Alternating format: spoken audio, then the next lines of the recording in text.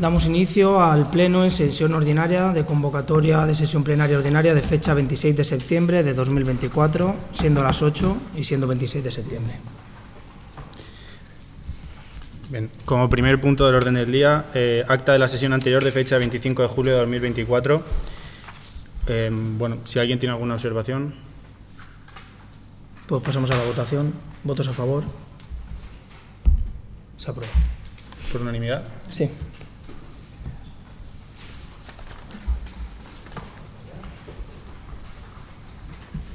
Segundo punto del orden del día, estudio de detalle para el desarrollo del plan parcial Hubo 2 Orito. Aprobación si procede. Expediente 278-2024.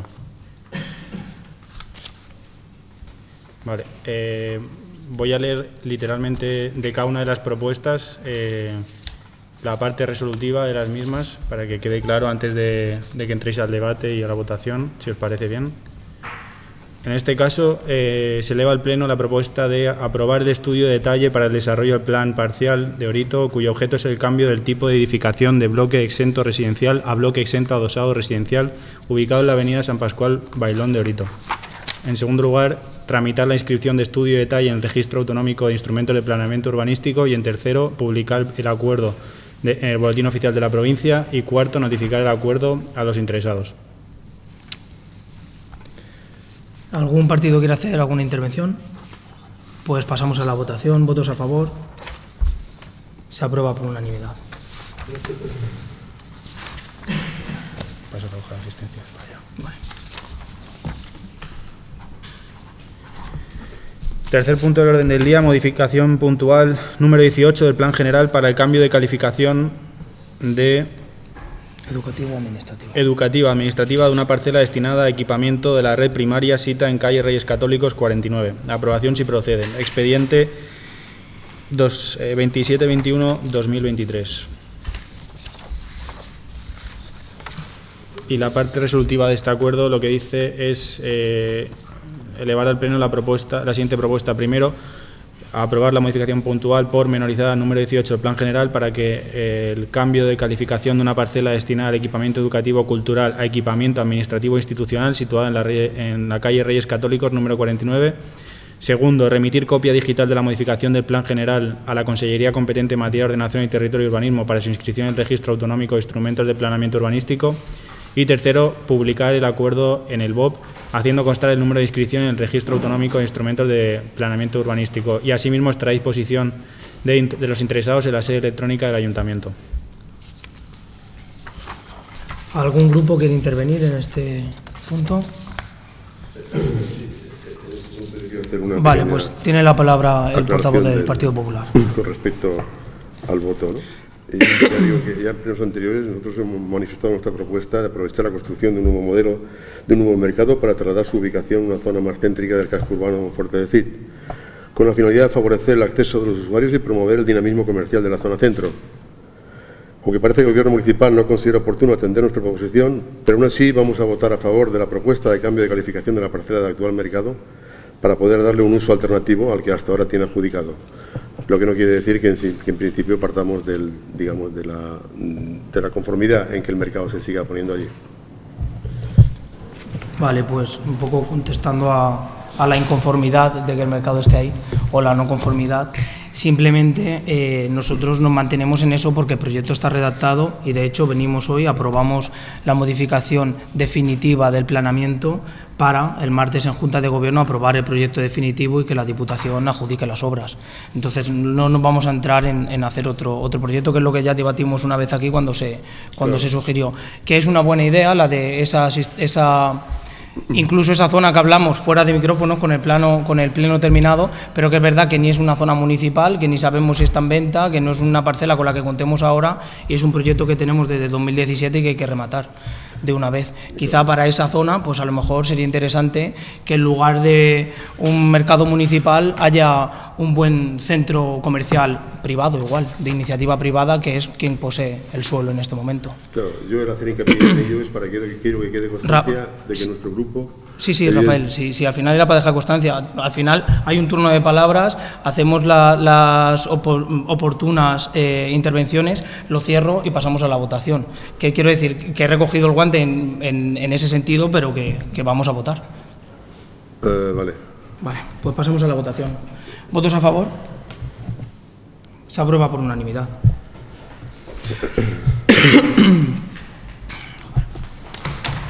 Cuarto punto del orden del día. Propuesta de nombramiento de miembros del Consejo Territorial de Monforte del CID. Aprobación si procede. Expediente 1721-2022.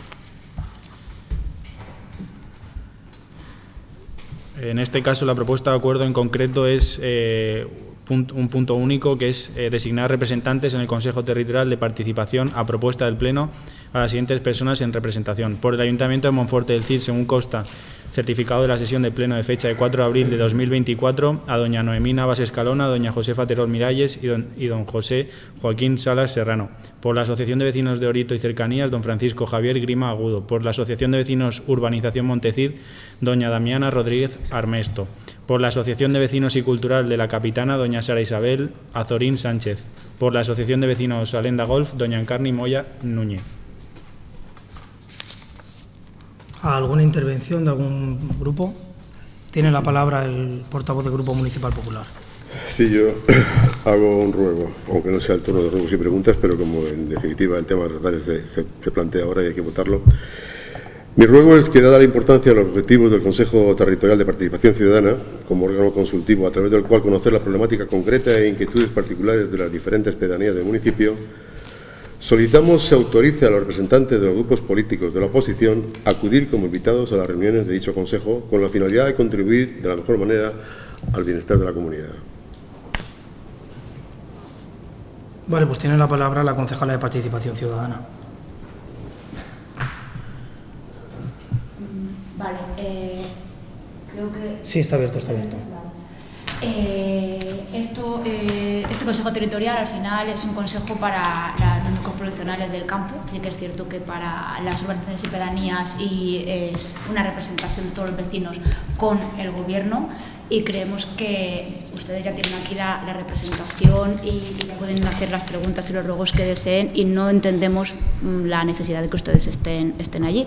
No obstante, eh, yo sí... Mm, no hay inconveniente por parte del resto del Consejo, yo no veo, yo no veo inconveniente, ¿vale? Ninguno. A pesar de que digo que creo que ustedes ya tienen aquí la participación y, suficiente, pero que no, yo por mí no tendría ningún inconveniente. Vale, pues cerrado el turno de debate, pasamos a la votación.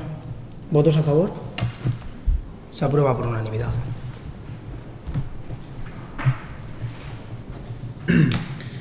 Em, pasamos ahora a los puntos, eh, a los asuntos urgentes que, como sabéis, hay que votar, hay que ratificar la inclusión en el orden del día porque no, no fueron informados en las comisiones correspondientes.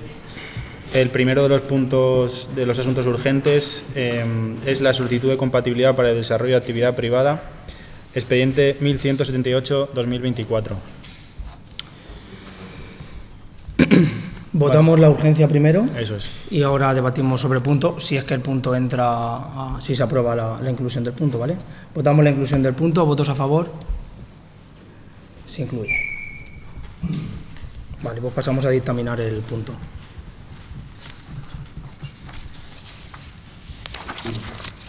Vale, en este caso la propuesta dice lo siguiente. Eh, se propone el Pleno, eh, en primer lugar, desestimar el recurso de reposición interpuesto por don Rafael López Núñez frente a la resolución de la Alcaldía 800-2024 16 de junio por los motivos expuestos en el informe de Secretaría de fecha 26 de julio de 2024. Eh, y, en segundo lugar, notificar al recurrente con indicación de los recursos que proceden contra, contra esta resolución de recurso. ¿Alguna intervención de algún grupo? Pues tiene la palabra el grupo de Vox.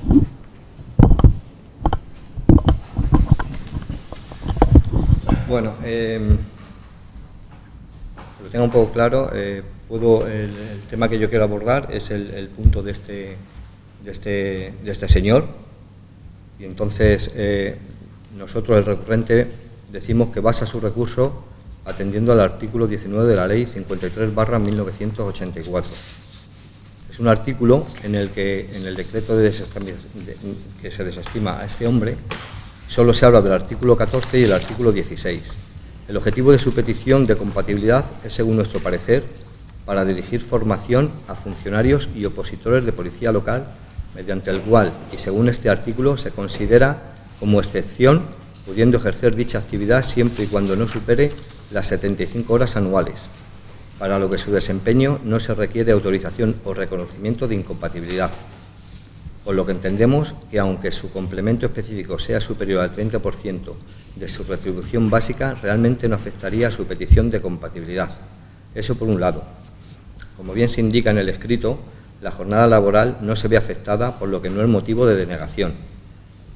Eh, entendemos que no se puede tener en cuenta un factor si realmente no se encuentra definido en su puesto, a pesar de que su complemento específico sea superior al 30% de retribuciones básicas, cosa que, como bien he indicado, no se tendría que tener en cuenta, ya que la petición de compatibilidad está comprendida dentro de las excepciones del artículo 19 de la Ley 53-84 que antes he mencionado y que ustedes solo mencionan el, el artículo 14 y el 16. A su vez, tenemos conocimiento de que otro agente de policía local tiene aprobada la compatibilidad para ejercer de preparador físico a opositores, siendo similar la condición al solicitante como psicólogo de, psicoeducación, que está dirigido también para opositores. Queremos saber si hay alguna diferencia entre ambas compatibilidades. Eh, al final, nosotros pensamos que el objetivo que tienen es formar eh, a opositores, también de igual manera el ADL del ayuntamiento tiene la compatibilidad también y es exactamente prácticamente el mismo caso. nosotros votaremos en, contra de esta resolución. Vale. Eh, tiene la palabra el Grupo Popular. No, me adhiero a la propuesta de, o la alegación que ha hecho mi compañero de Vox. Vale.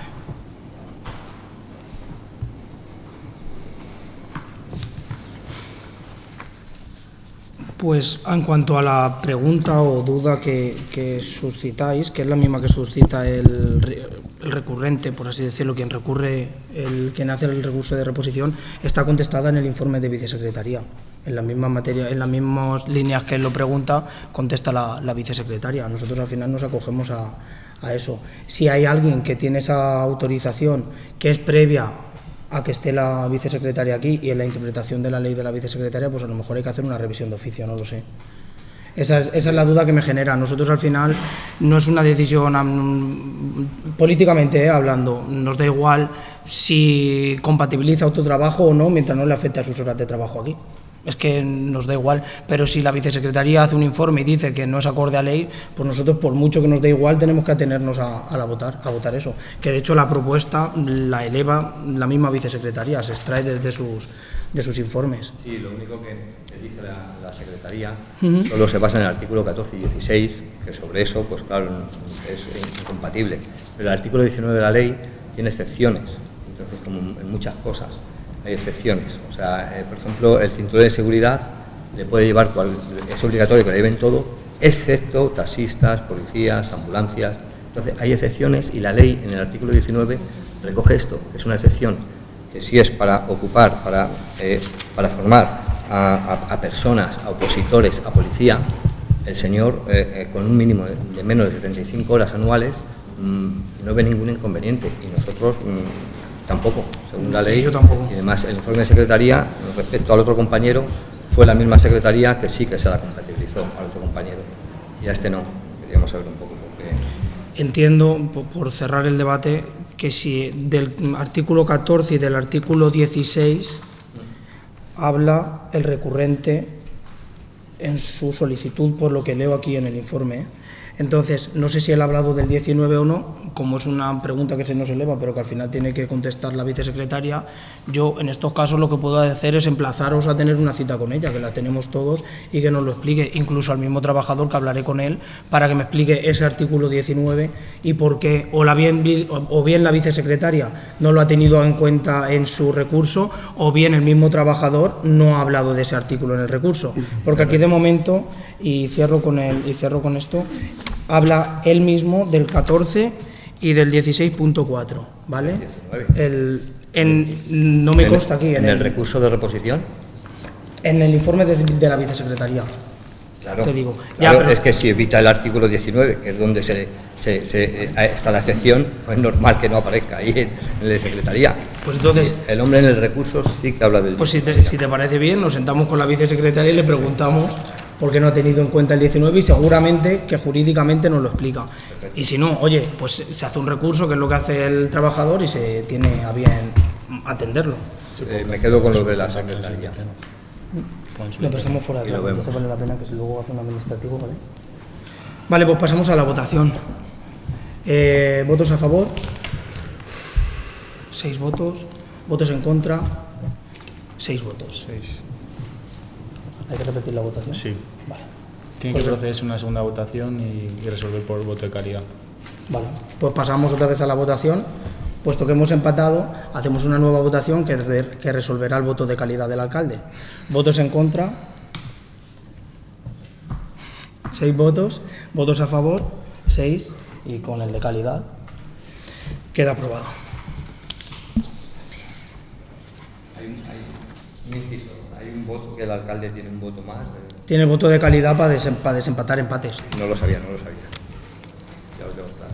Entre la primera y la segunda votación se puede hacer también otra intervención por si alguien quiere cambiar de posición. Ah, vale. pero, bueno, veo que como os mantenéis todos en las mismas tampoco... Vale, pues pasamos al siguiente punto. En el orden del día, el siguiente punto es el proceso de estabilización, eh, el recurso de reposición, ¿vale? Y el 5.3 es la recusación contra la concejala de recursos humanos. Puesto que no tiene sentido que primero se resuelva el expediente y luego se resuelva la recusación, Vamos a hacer primero, es que ha habido un error ahí, vamos a hacer primero el 5.3, ¿vale? Que es el de recurso de, de recusación contra la concejala de Recursos Humanos, Mari Carmen Ramírez Terol, y luego eh, votaremos el otro. ¿Vale? Votamos primero la inclusión en el, en el pleno del, del punto 5.3. ¿Tienes que leer algo o votamos? No, la, la inclusión... Vale. Bueno, perdón, eh, vamos a leer... El leo título, la- ¿no? el- sí. El, el punto 5.3 de asuntos urgentes eh, es el proceso de estabilización de plaza de técnico de escuela infantil, recusación contra la concejala de recursos humanos, expediente 2066-2022. Votamos primero la, la inclusión del punto en el orden del día. ¿Votos a favor de la inclusión? Eh, Tú no. Te abstienes Se, ap- se aprueba por unanimidad, excepto Mari Carmen, que, está, Eso es. que no puede votar. Vale, pues pasamos a, a la consideración del punto.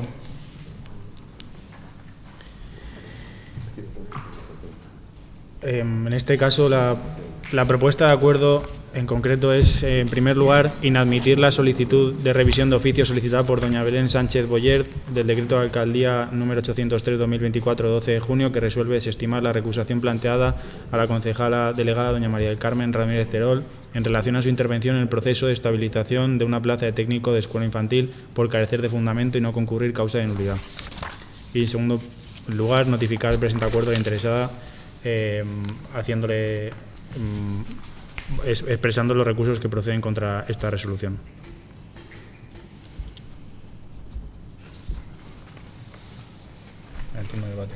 Eh, ¿Alguien quiere intervenir? ¿Algún partido? Vale, pues tiene la palabra el Grupo Municipal de Vox. Eh, perdona, eh, ha leído el secretario el recurso de reposición frente al decreto de alcaldía. Es ese, ¿no? Sí. Inadmitir la, la- el- la solicitud de revisión de oficio en el proceso. Esto no es la desestimación de la revisión de oficio en sí, sino la recusación al procedimiento, a la resolución de la revisión de oficio. La revisión de oficio será el siguiente punto. Eh, Es el, el- este es el, el se ha alterado respecto al orden del día. Este es el 5.3, ¿vale? A ver, Que se propone la desestimación de la recusación. Pero que es eh, frente al decreto de alcaldía número 565 barra 2024. 803-2024, el decreto. El 5, el- es el punto 5.3 Ese punto 5.3. de los asuntos urgentes. Se ha alterado el 5.3 antes que el 5.2. El 5 es antes que el 5, 2. A ver, claro que me he hecho yo un lío. Vale, vale, vale, me he hecho un lío porque, porque aquí viene de una manera y lo han dicho al revés. Es que justo lo he explicado, que le íbamos a Vale, dar la vale, vuelta vale. porque había habido un error y no tenía sentido. Primero hay que votar sobre la recusación de Mari Carmen y luego hay que votar sobre el asunto del expediente. Vale. eh, nosotros pensamos que estamos ante un punto del orden del día motivado por su empeño en echar a una trabajadora municipal, viuda, con una menor a su cargo y que ha demostrado ser una excelente profesional a la que después de haber intentado echarla con una denuncia falsa por malos tratos, se vieron en la necesidad de nombrarla ilegalmente directora de la escuela infantil.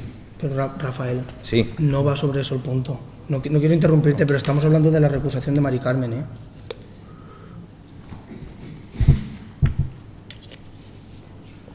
es el otro.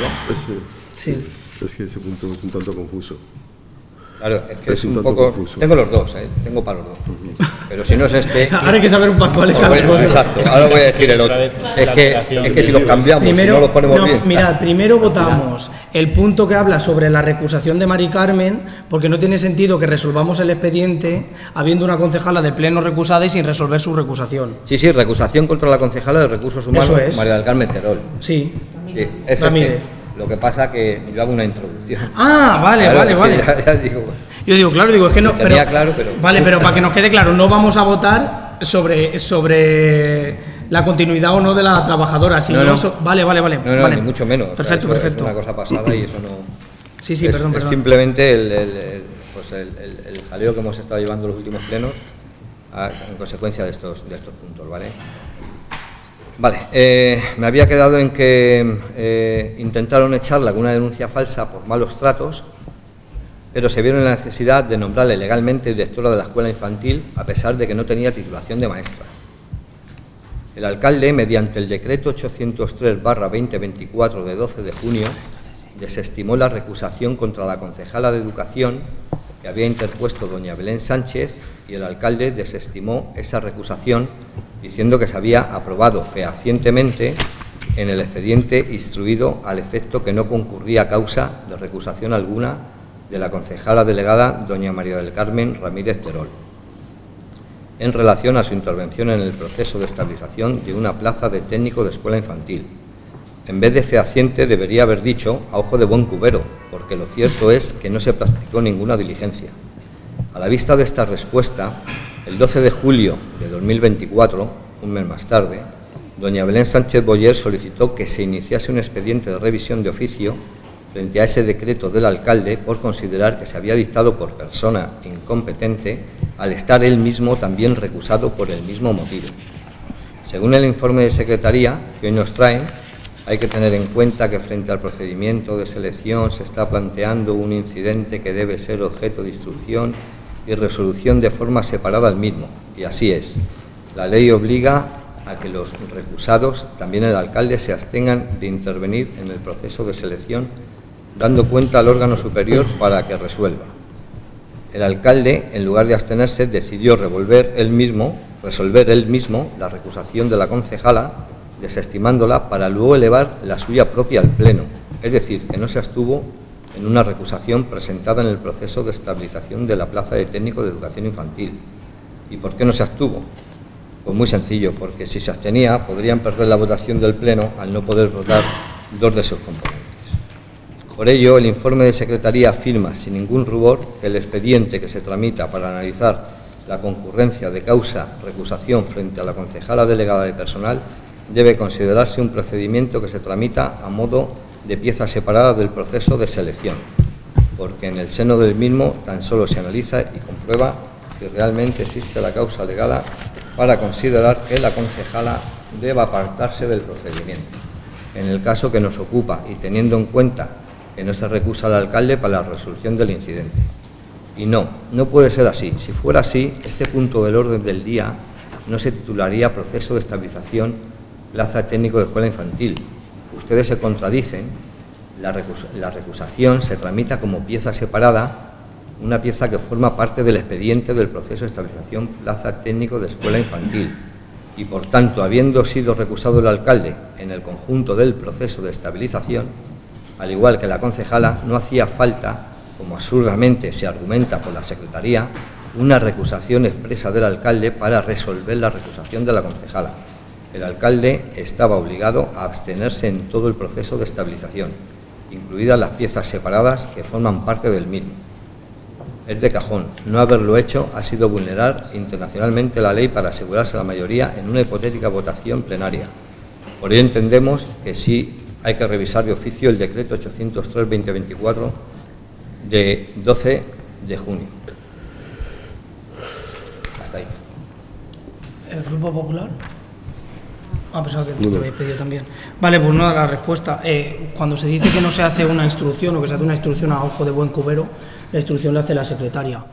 Si estuviera aquí, pues le contestaría, porque al final a la que ha tirado por tierra su trabajo es a ella, no a mí. Yo no me dedico a hacer instrucciones, no me dedico a hacer expedientes, me dedico a mm, ejecutarlos y resolverlos en las capacidades que me da la ley, que son las de alcalde, no las de secretario, ni vicesecretaria, ni funcionario del ayuntamiento. Entonces, mm, a esas valoraciones, pues si quiere usted pedir cita con la vicesecretaria y le dice a ella que hace los expedientes a ojo de buen cubero, seguro que a bien le tiene atenderle y decirle lo que piensa de su trabajo ella. ¿Qué quieres que le diga? Un poco para ponerlos en iguales, porque ella no se va a poder defender hoy aquí. Mm, Nosotros, termino, Eh, nosotros estimamos y hacemos y consideramos lo que se nos dice por parte de Secretaría. Nosotros no sabemos aquí ninguno, ni los que estéis en la oposición ni los que estamos en el Gobierno, cómo se dictaminan los expedientes. Lo primero que se hace normalmente es pedirle a la Secretaría que emita un informe donde se digan los pasos y a veces pueden estar acertados y a veces pueden ser erróneos, porque al final somos humanos, tanto los que estamos aquí como los, que, los 130 trabajadores de, de la casa.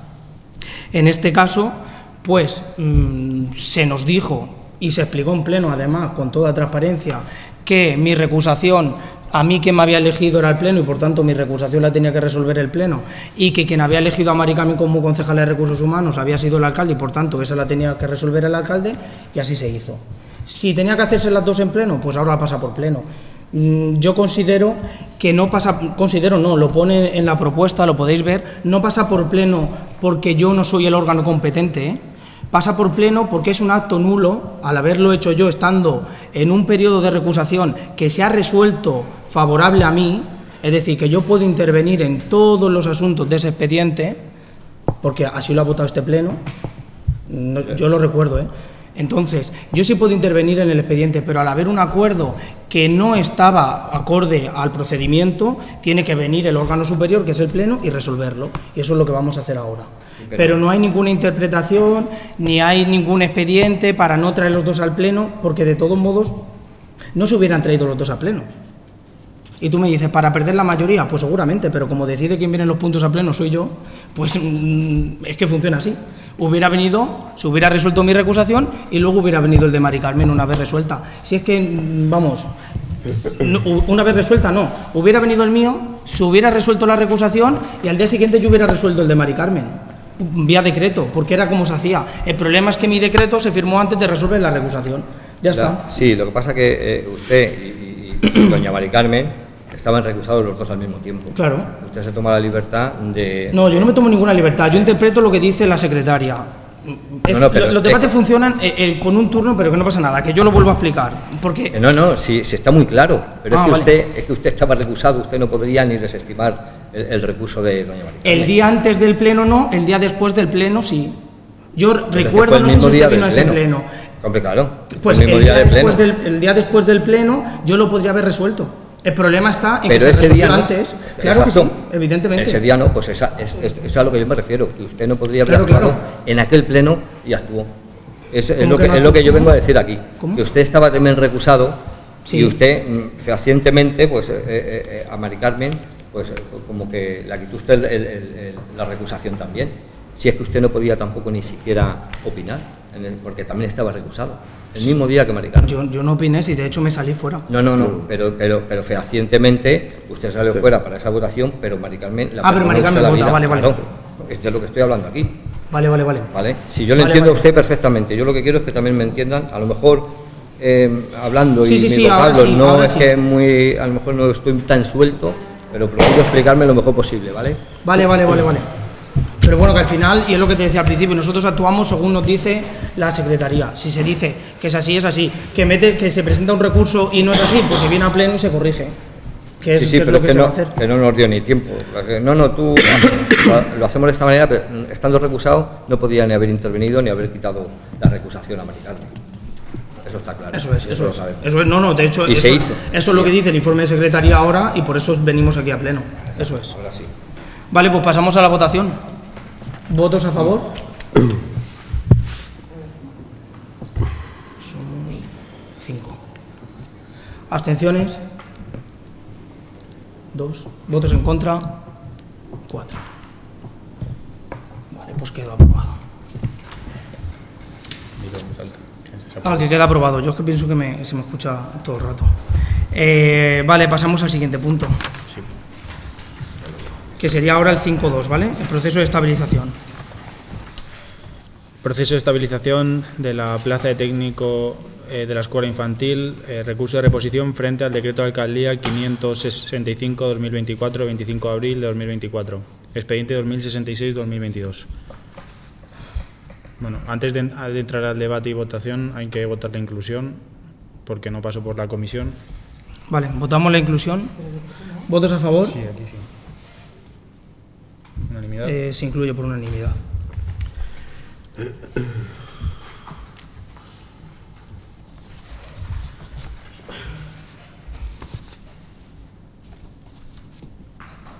Vale, si quieres. eh, Sí, vale, la... Eso es.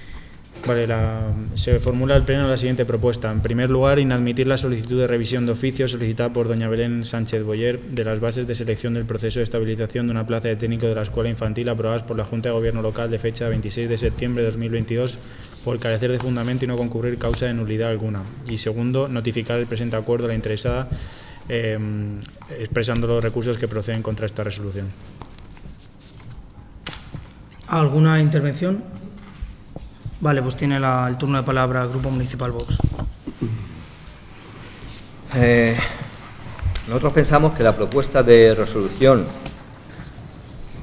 que, se presenta, pensamos que es inadmisible. Y les voy a decir por qué. El documento que nos traen dice, consideraciones del informe de la Secretaría. De conformidad con lo dispuesto en el artículo 76 del Real Decreto Legislativo 5 barra 2015 de 30 de octubre, por el que se aprueba el texto refundido de la Ley del Estatuto Básico del Empleado Público vigente. Los cuerpos y escalas se clasifican de acuerdo con la titulación exigida para el acceso a los mismos, en los siguientes grupos. Grupo A, dividido en dos subgrupos, A1 y A2. Para el acceso a los cuerpos o escalas de este grupo se exigirá estar en posesión del título universitario de grado. En aquellos supuestos en los que la ley exija otro título universitario, será este el que se tenga en cuenta. La clasificación de los cuerpos y escalas en cada subgrupo estará en función del nivel de responsabilidad de las funciones a desempeñar y de las características de las pruebas de acceso. De este artículo deducen que, por este motivo, las bases exigen ostentar un título superior al que acredita tener la recurrente y, por tanto, eh, superior al técnico de educación infantil.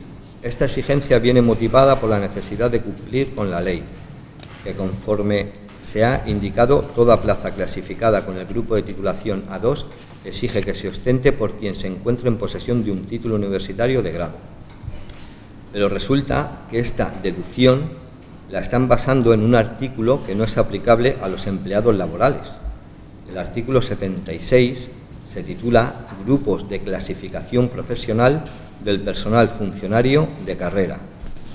Y seguro que sí que saben que doña Belén Sánchez Boyer no es funcionaria de carrera, sino contratada laboral, porque eh, sino, sino contratada laboral por lo que el artículo 76, en el que sustenta en su conclusión, no viene a cuento, no les es aplicable. Es evidente que pretenden darle cierta apariencia de legalidad a una cacicada.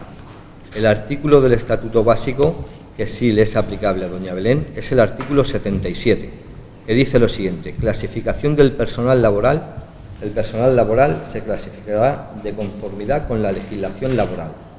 A la vista de ello, no queda más remedio que preguntarse por qué no citan este artículo, por qué no desarrollan su tesis de conformidad a la legislación laboral. En segundo lugar, ustedes rechazan el argumento de doña Belén de que con las bases aprobadas se está cometiendo en fraude de ley en la medida en que no se le permite el acceso al procedimiento, al exigirle una titulación superior a la técnico de educación infantil, no respetando así el espíritu de la Ley 20-2021 de 28 de diciembre, de medidas urgentes para la reducción de la temporalidad en el empleo público, sosteniendo que el espíritu y finalidad de esta norma es estabilizar el empleo de funcionarios interinos y contratados laborales temporales. Y lo rechazan argumentando que no podemos olvidar que en el proceso de estabilización se estabilizan las plazas y no las personas, por lo que con la titulación exigida en las bases se está cumpliendo con la ley y no se está cometiendo fraude alguno. Nosotros pensamos que es un argumento muy peregrino porque las plazas no necesitan estabilización alguna. Las plazas están creadas y figuran en el catálogo. Las plazas son plazas, están en el catálogo de puestos de trabajo. Lo que se necesita estabilizar son las personas y esa es la finalidad de la ley, reducir la temporalidad de las personas que ocupan esas plazas.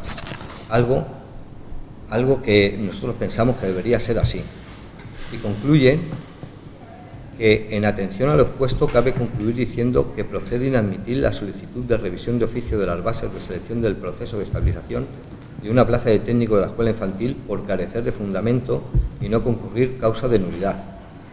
O sea, ustedes concluyen que utilizando un artículo expresamente destinado a los funcionarios de carrera a un contrato laboral y argumentando que la finalidad de la Ley 20 2021 de 28 de diciembre de medidas urgentes para la reducción de la temporalidad en el empleo público es la de estabilizar las plazas y no a los trabajadores. Hay que inadmitir la solicitud de revisión de oficio de las bases particulares realizada por doña Belén. Pues no, a la vista de lo anterior, nuestra conclusión es que no hay argumentos jurídicos ni éticos para inadmitir esta solicitud de revisión de oficio. Es más, un mínimo eh, de profesionalidad debería impulsarles a retirar el pleno del Pleno esta propuesta, que no hace otra cosa que evidenciar que detrás de ella solo hay una arbitrariedad, una justicia y posiblemente un delito de odio. Una última cosa. Dado que este juicio, o sea, este asunto ya está en los tribunales de justicia, les ruego que lo que acabo de decir figure literalmente en el acta de, de sesión.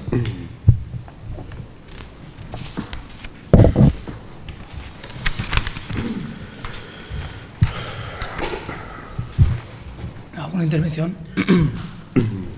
Sí, este, este, asunto ya es la enésima vez que se trata y evidentemente es un asunto muy conflictivo porque parece mentira que intentando eh, consolidar, o sea, que haya un concurso para eh, consolidar un puesto de trabajo y una estabilidad en empleo, se haya provocado precisamente esta situación tan anómala, ¿verdad? Y contraria al espíritu de la, ley, ¿no? Yo considero que independientemente de interpretaciones normativas, que siempre están sujetas a consideraciones personales, y eso lo vemos todos los días, en las diferentes sentencias que, practican los jueces, donde uno dice que esto es negro, el otro dice que no es negro, que es blanco, hubiese sido más coherente con la intención de este concurso de consolidación laboral que pretende hacer fijos a los trabajadores temporales, haber estabilizado en su puesto de trabajo a la señora Belén Sánchez y no haberlo ejecutado de manera contraria a su filosofía, despidiendo a la trabajadora que debía haber sido protegida. Esta resolución, aparte de privar a un trabajador de su puesto de trabajo, contrario a una razonable política laboral y social, implica un coste por despido para las arcas municipales de más de 31.000 euros y los previsibles gastos de los juicios en marcha y las indemnizaciones a que hubiese lugar por esos juicios. Por tanto, evidentemente considero, como hemos dicho tantas veces, de que en definitiva la resolución del concurso no, se, no ha sido la más adecuada.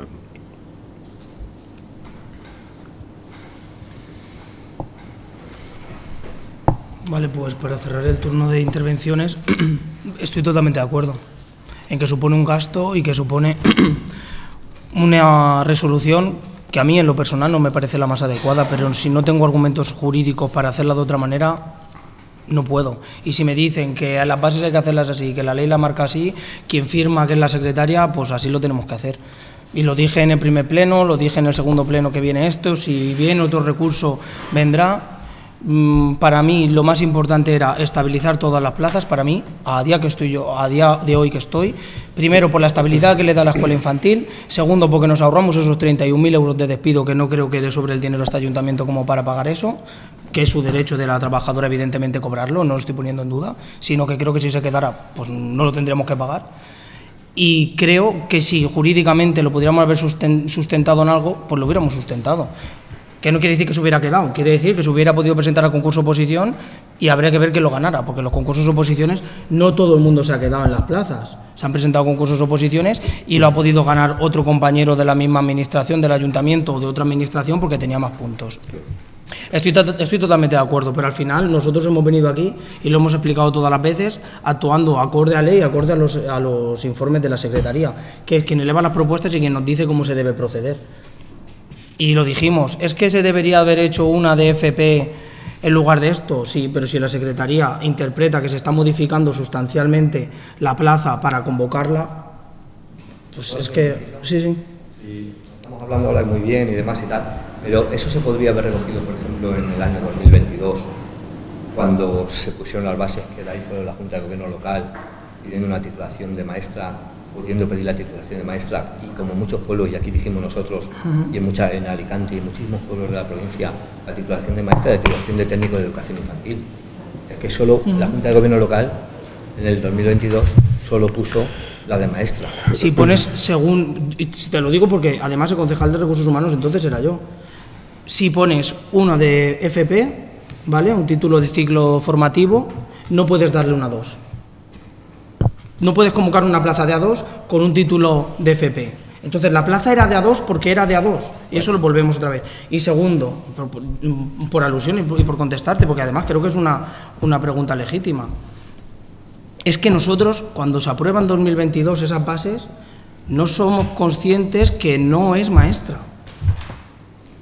que no lo somos. Eso, no me lo creer. Vale, pero si no te lo quieres creer, es que nosotros lo hemos explicado 20 veces. Yo no me sé la titulación de todo el mundo. Si es que tampoco era directora y la pusiste de directora. Claro, porque la nombramos nosotros directora. claro, y no lo era, y no tenía el título de maestra.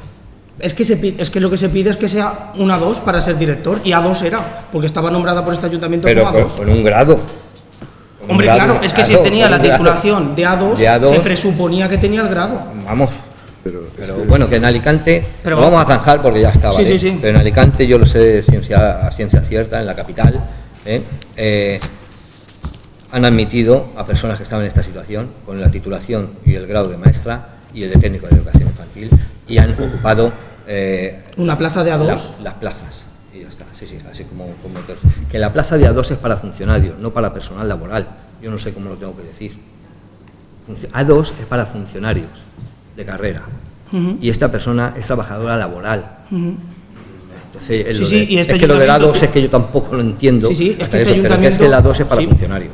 Porque este ayuntamiento tiene un convenio laboral que lo que hace es igualar a los laborales con los funcionarios en todo, en derechos y en, titulaciones y en obligaciones. Es que es así, ¿eh? está aprobado, pues no sé si hace 10 o 12 años. Pues este ayuntamiento, igual que tiene ese convenio, podía haber tenido un convenio de haber la plaza de maestro y la plaza de eso de técnica de educación infantil porque está totalmente capacitada para hacerlo. Pero ejemplo, y nos habíamos quitado todos estos follones y tantas cosas. y a día de hoy, a toro pasado, como decíamos a ojo de buen cubero y a toro pasado, pues hubiéramos cambiado el estatuto del convenio colectivo del ayuntamiento, la plaza y todo si llegamos a saber que la resolución iba a ser esta. Pero es que, y, podéis no creerme, pero que yo no sabía que no era maestra, es que no me sé qué titulación tiene cada uno de los trabajadores del ayuntamiento. Más que nada porque cuando se les contrató yo no estaba aquí. Entonces no puedo saberlo. Nadie va, yo no me presento en el despacho de un trabajador y le digo, buenos días, sácame tu título universitario.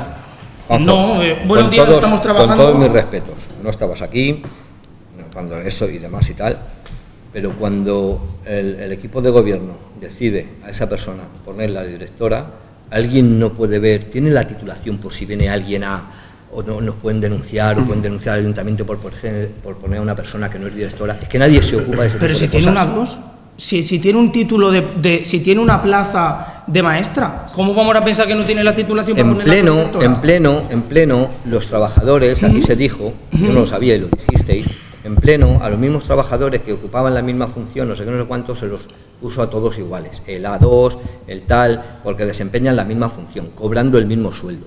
Pero el A2 es para funcionario, la- eh, eh, funcionario de carrera.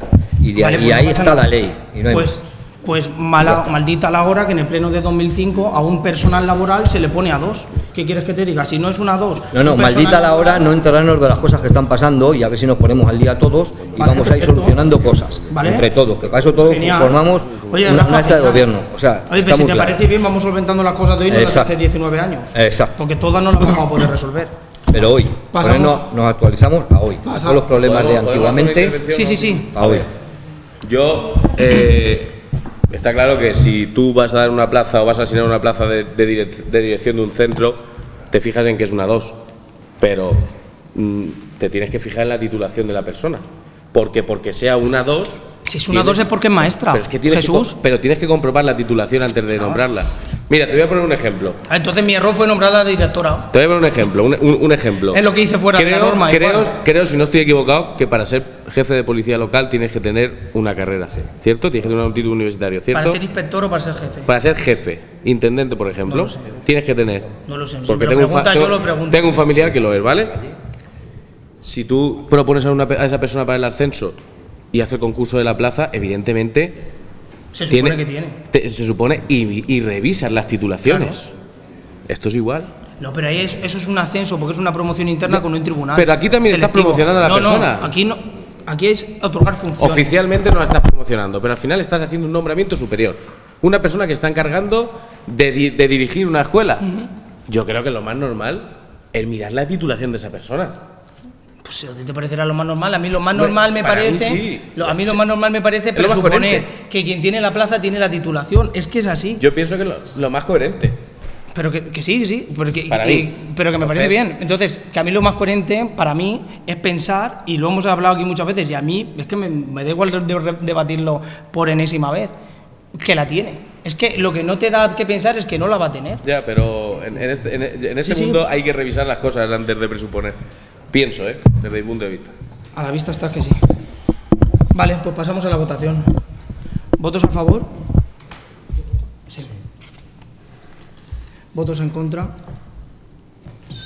6, 6. Volvemos a votar. Sí, si quiere alguien. to- sí, ¿Quiere- si ¿Alguien quiere tomar la intervenir? palabra. Si no nos vamos a convencer unos a otros, pasamos a la votación. Vale, ¿votos a favor? 6. ¿Votos en contra? 6. Se resuelve por el voto de calidad. Vale.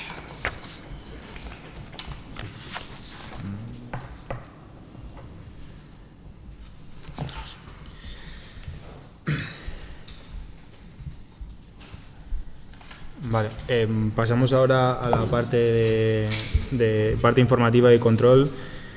Y en primer lugar, la acción de cuenta se da cuenta de los decretos de alcaldía desde el 976 hasta el 1268 de este año 2024.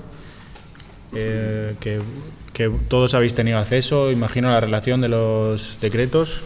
Se os ha hecho llegar los decretos. Bien, si alguien quiere comentar algo o lo que sea. Si no, pasamos ahora a dar cuenta de, las, eh, de dos resoluciones judiciales. Tres. Eh, no, la otra era una diligencia. Ah, vale.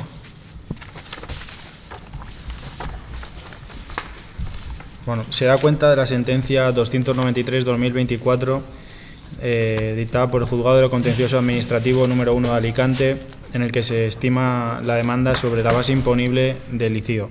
El fallo literalmente dice lo siguiente, que debo estimar el recurso contencioso administrativo interpuesto por la mercantil Tenada Nueva SL contra el Ayuntamiento de Monforte del Cid en cuanto a la pretensión subsidiaria del suplico de la demanda en impugnación de la resolución mencionada en el encabezamiento de la presente sentencia, anulando la misma en cuanto a la determinación del importe de la base imponible del licio que se establece por esta sentencia en 18.675,28 euros, condenando a la Administración demandada a estar y pasar por dicho pronunciamiento y llevar a cabo las actuaciones que exija el fallo, incluida la devolución a la recurrente de las cantidades que haya satisfecho previamente, más los correspondientes intereses eh, contados desde la fecha del pago hasta su efectiva devolución.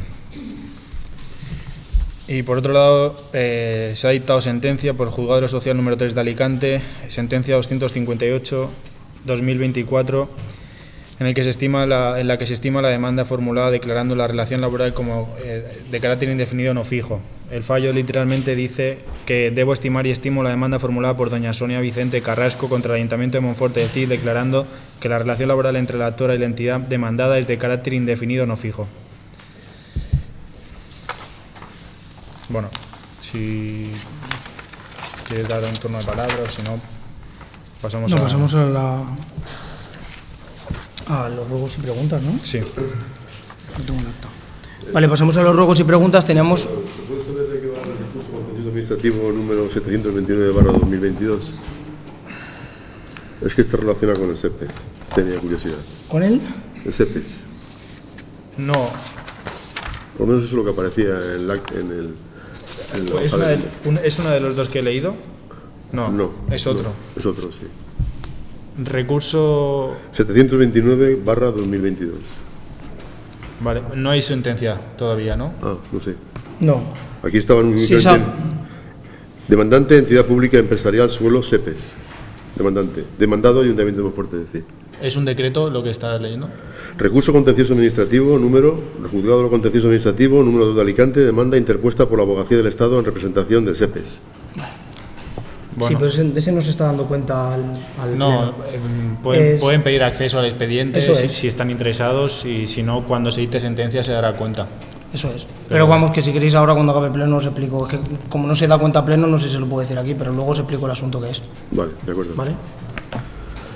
Si podéis incluirlo como pregunta también eh, ahora en el turno Claro. de preguntas, pero yo no voy a saber, o sea, voy a tener que estar mirando el expediente, no, no sé de memoria Vale, vale. el Muy contenido bien, de la Perfectamente, muy bien. Vale, pues pasamos al el turno de ruegos y preguntas. Quedaban cuatro preguntas por responder. Dos de la concejala Maribel de las Nieves y dos de la concejala Mari Carmen Ramírez. ¿Empiezas, Maribel? Eh, bueno, pues en cuanto a las cuestiones relacionadas con la concesión del agua, eh, bueno, repasando el acta, bueno, se escriban para vos. Repasando el acta, pues para poder contestar con claridad, vimos que, que había muchas cuestiones mezcladas y dentro de la misma pregunta habían cosas de hace muchos años, cosas de ahora y, y se vio que era más conveniente que se redacte un informe. Entonces, eh, creo que ya el concejal de ciclo hídrico, que hoy no, no- no ha podido estar, eh, ya, lo, ya lo ha pedido el informe y de todas maneras también os, os invito a, si queréis tener una reunión informativa sobre, sobre este tema y, si puede ser que esté el concejal del área, mejor.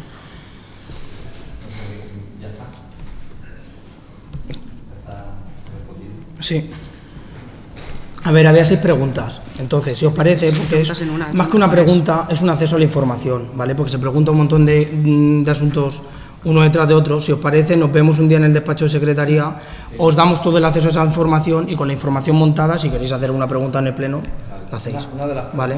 Un segundo. Terminan las preguntas que teníamos del otro pleno y pasamos a- al de hoy. Vale, y esta era en relación a- al Plan Vive que formuló el, el Grupo Municipal Popular. Y bueno, eh, sí estamos trabajando en, el Plan Vive.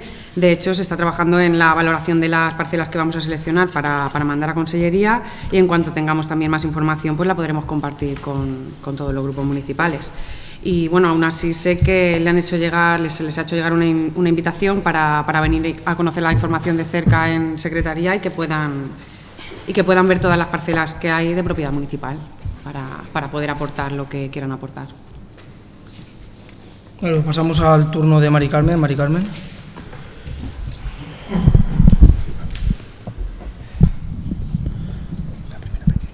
Vale, de mis dos, yo tengo una de José Rafael y pregunta que por qué no se ha convocado una plaza por el cupo de discapacidad y cuál es el porcentaje de personal funcionario.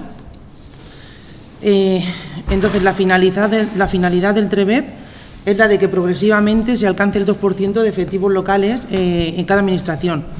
Consta entre los empleados públicos municipales un total de cuatro trabajadores con discapacidad de 129. El total de empleados públicos con discapacidad alcanza el- alcanza el 5,16%. En la actualidad el ayuntamiento supera el porcentaje de empleados con, discapaci- con di- discapacidad exigidos por la normativa, por lo que no tiene obligación legal en realizar reserva adicional alguna para personas con discapacidad. Sí, vamos a ver, según tengo yo entendido, no tengo aquí evidentemente la normativa o la ley que regula esto, pero eh, las administraciones tienen que tener un 7% de discapacitados, un 7%. Si aquí hay ciento y pico, me ha dicho, trabajadores, y hay cinco y, y El algo de con discapacitados, aún le faltan hasta siete, aún le faltan casi uno, puestos y medio, más o menos, o tres. No vamos a el- partir el uno por la estatuto- mitad. En el Estatuto Básico del Empleado Público se dice que progresivamente se debe alcanzar el 2%. Progresivamente, ¿desde cuándo? Es decir, a partir de el mañana. 2%, y nosotros tenemos el 5,16%. No, no, el 7%. En la administraciones tiene que haber 7%. Ah, y de hecho, eh, al, al interesado, que Un también lo 5%, solicitó aquí perdón, por escrito, te interrumpa, un 5% de discapacitados físicos y un 2% de discapacitados inte- inte- inte- intelectuales. Total, un 7%. Tiene que haber. Si aquí, evidentemente, nada más que hay un 5 y ciento y pico de trabajadores, pues faltan, digamos, cubrir ese porcentaje, ¿no? Con lo cual, sí hubiera sido razonable que en esta convocatoria para la Administración, pues hubiese habido una plaza al menos de discapacitados en la convocatoria, ¿no? yo la información que tengo no es esa. Esta mañana me he informado y he preguntado acerca de eh, discapacidad, Pues yo, eh, pues, ¿se separa o no?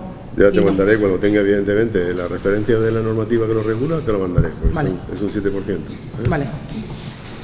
Y la siguiente es de Jesús. En cuanto a la incorporación de nuevos policías, ¿se ha pensado en renovar los automóviles que están obsoletos, en especial uno de ellos a corto plazo? Entonces, cuando se dice si se ha pensado en renovar los coches que están obsoletos, en especial uno de ellos, eh, el único vehículo que se puede considerar obsoleto es el Dacia. Es un vehículo en propiedad del ayuntamiento que se, utiliza para la guardería rural y algún servicio puntual y que el servicio ordinario se realiza con los Toyotas, que son relativamente nuevos y sí se ha iniciado un expediente para, para un renting eh, y dotar de dos vehículos de similares características. Y en cuanto a la... También me pregunta si se ha pensado en incorporar motos eléctricas, que creo que te contestamos, pero da igual.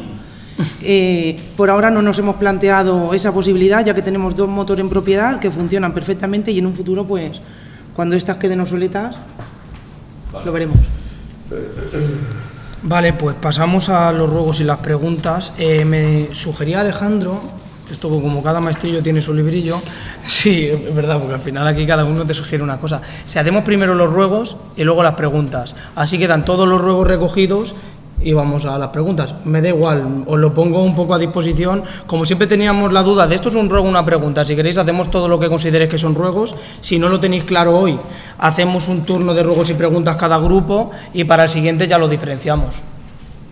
Lo podemos, lo, lo podemos ver luego fuera, pero es que me lo acaba de decir ahora y digo, pues a ver, me da igual, quizás más cómodo pasar todos los ruegos para que queden recogidos y luego las preguntas, pero Es que, eh, por prepararlo y separarlo vosotros, si os parece bien, a partir del siguiente lo hacemos así, que también para el acta es más fácil, porque cuando tenemos que buscar eh, las preguntas que quedaron por responder, ya no sabes si estás en un ruego o en una pregunta, de ¿vale? todas formas, perdón interrumpa, hay veces, muchas veces, por lo menos en mi planteamiento, de que una pregunta, digamos, está conectada con un ruego, ¿no?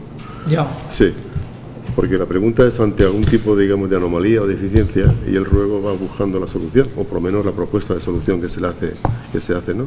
Entonces a veces es difícil diferenciarlo y no es que sea difícil diferenciarlo, es que es difícil, eh, digamos, manifestarlo, porque no voy ahora yo a rogar algo y luego voy Y a preguntar, pregunta, ¿eh? voy a preguntar porque hay que, en la pregunta porque se tiene que, que tenemos que reparar, ¿no?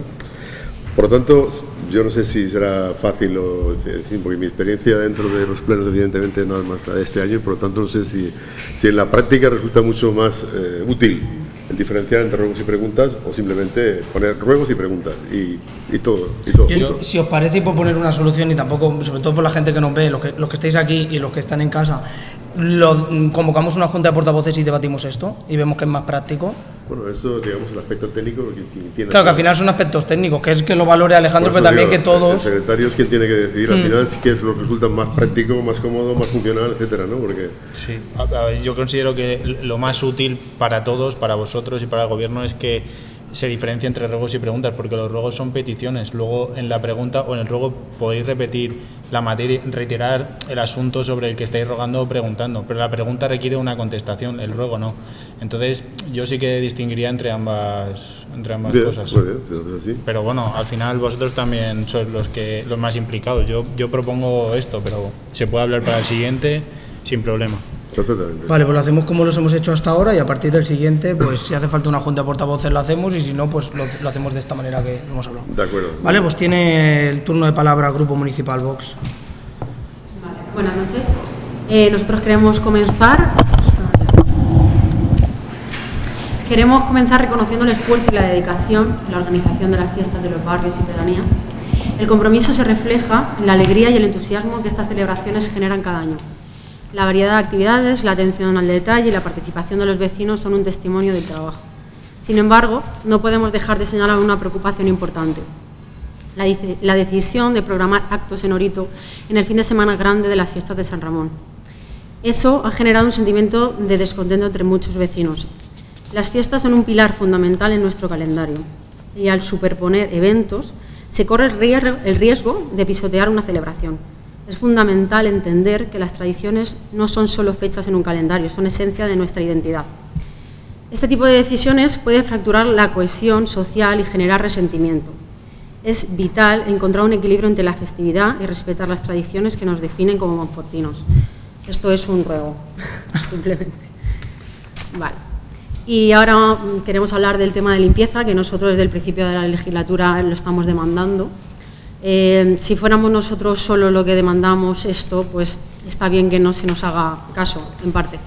Pero es frustrante porque todos los días, hables con quien hables, te dicen que el pueblo está hecho un desastre, que está muy sucio, que se está echando a perder, que están secando los árboles, que incluso tienen que arrancar porque están secos. Eh, la mayoría de las cosas nos las cuentan vecinos octogenarios que están viendo como poco a poco el pueblo se está muriendo. Calles, plazas, avenidas con suciedad y sin tener personal de limpieza que supla las vacaciones. Es imposible tener un pueblo limpio. También muchísimas quejas de los vecinos de nuestras pedanías. Uno de estos vecinos grabó varios vídeos denunciando la situación real que está padeciendo Orito, dejadez absoluta. Así lo compartimos nosotros, el Grupo Municipal de Vox, eh, para dar máxima difusión en redes de la situación que está padeciendo, que es realmente triste. Eso sí, en Monforte fiesta no falta. Tampoco están nada contentos los vecinos de Montecid, esa urbanización olvidada de la mano de Dios y de este ayuntamiento, no solo de los aspectos de limpieza y cuidados, que brillan por su ausencia, sino también por la falta de dejadez de intentar acercar a la pedanía con algún medio de transporte, de tener un acceso digno a la urbanización. Y bueno, ya que estamos hablando del tema de limpieza, eh, nosotros que estábamos interesados en saber ocurre con el tema de la limpieza en el colegio, es el único colegio que tenemos en Monforte, un colegio público, y sabemos de buena mano que se está pidiendo a las familias que lleven rollo de papel, osificador de gel, porque los niños no tienen para lavarse las manos y secarse las manos. Incluso los profesores tienen que limpiar las, clases.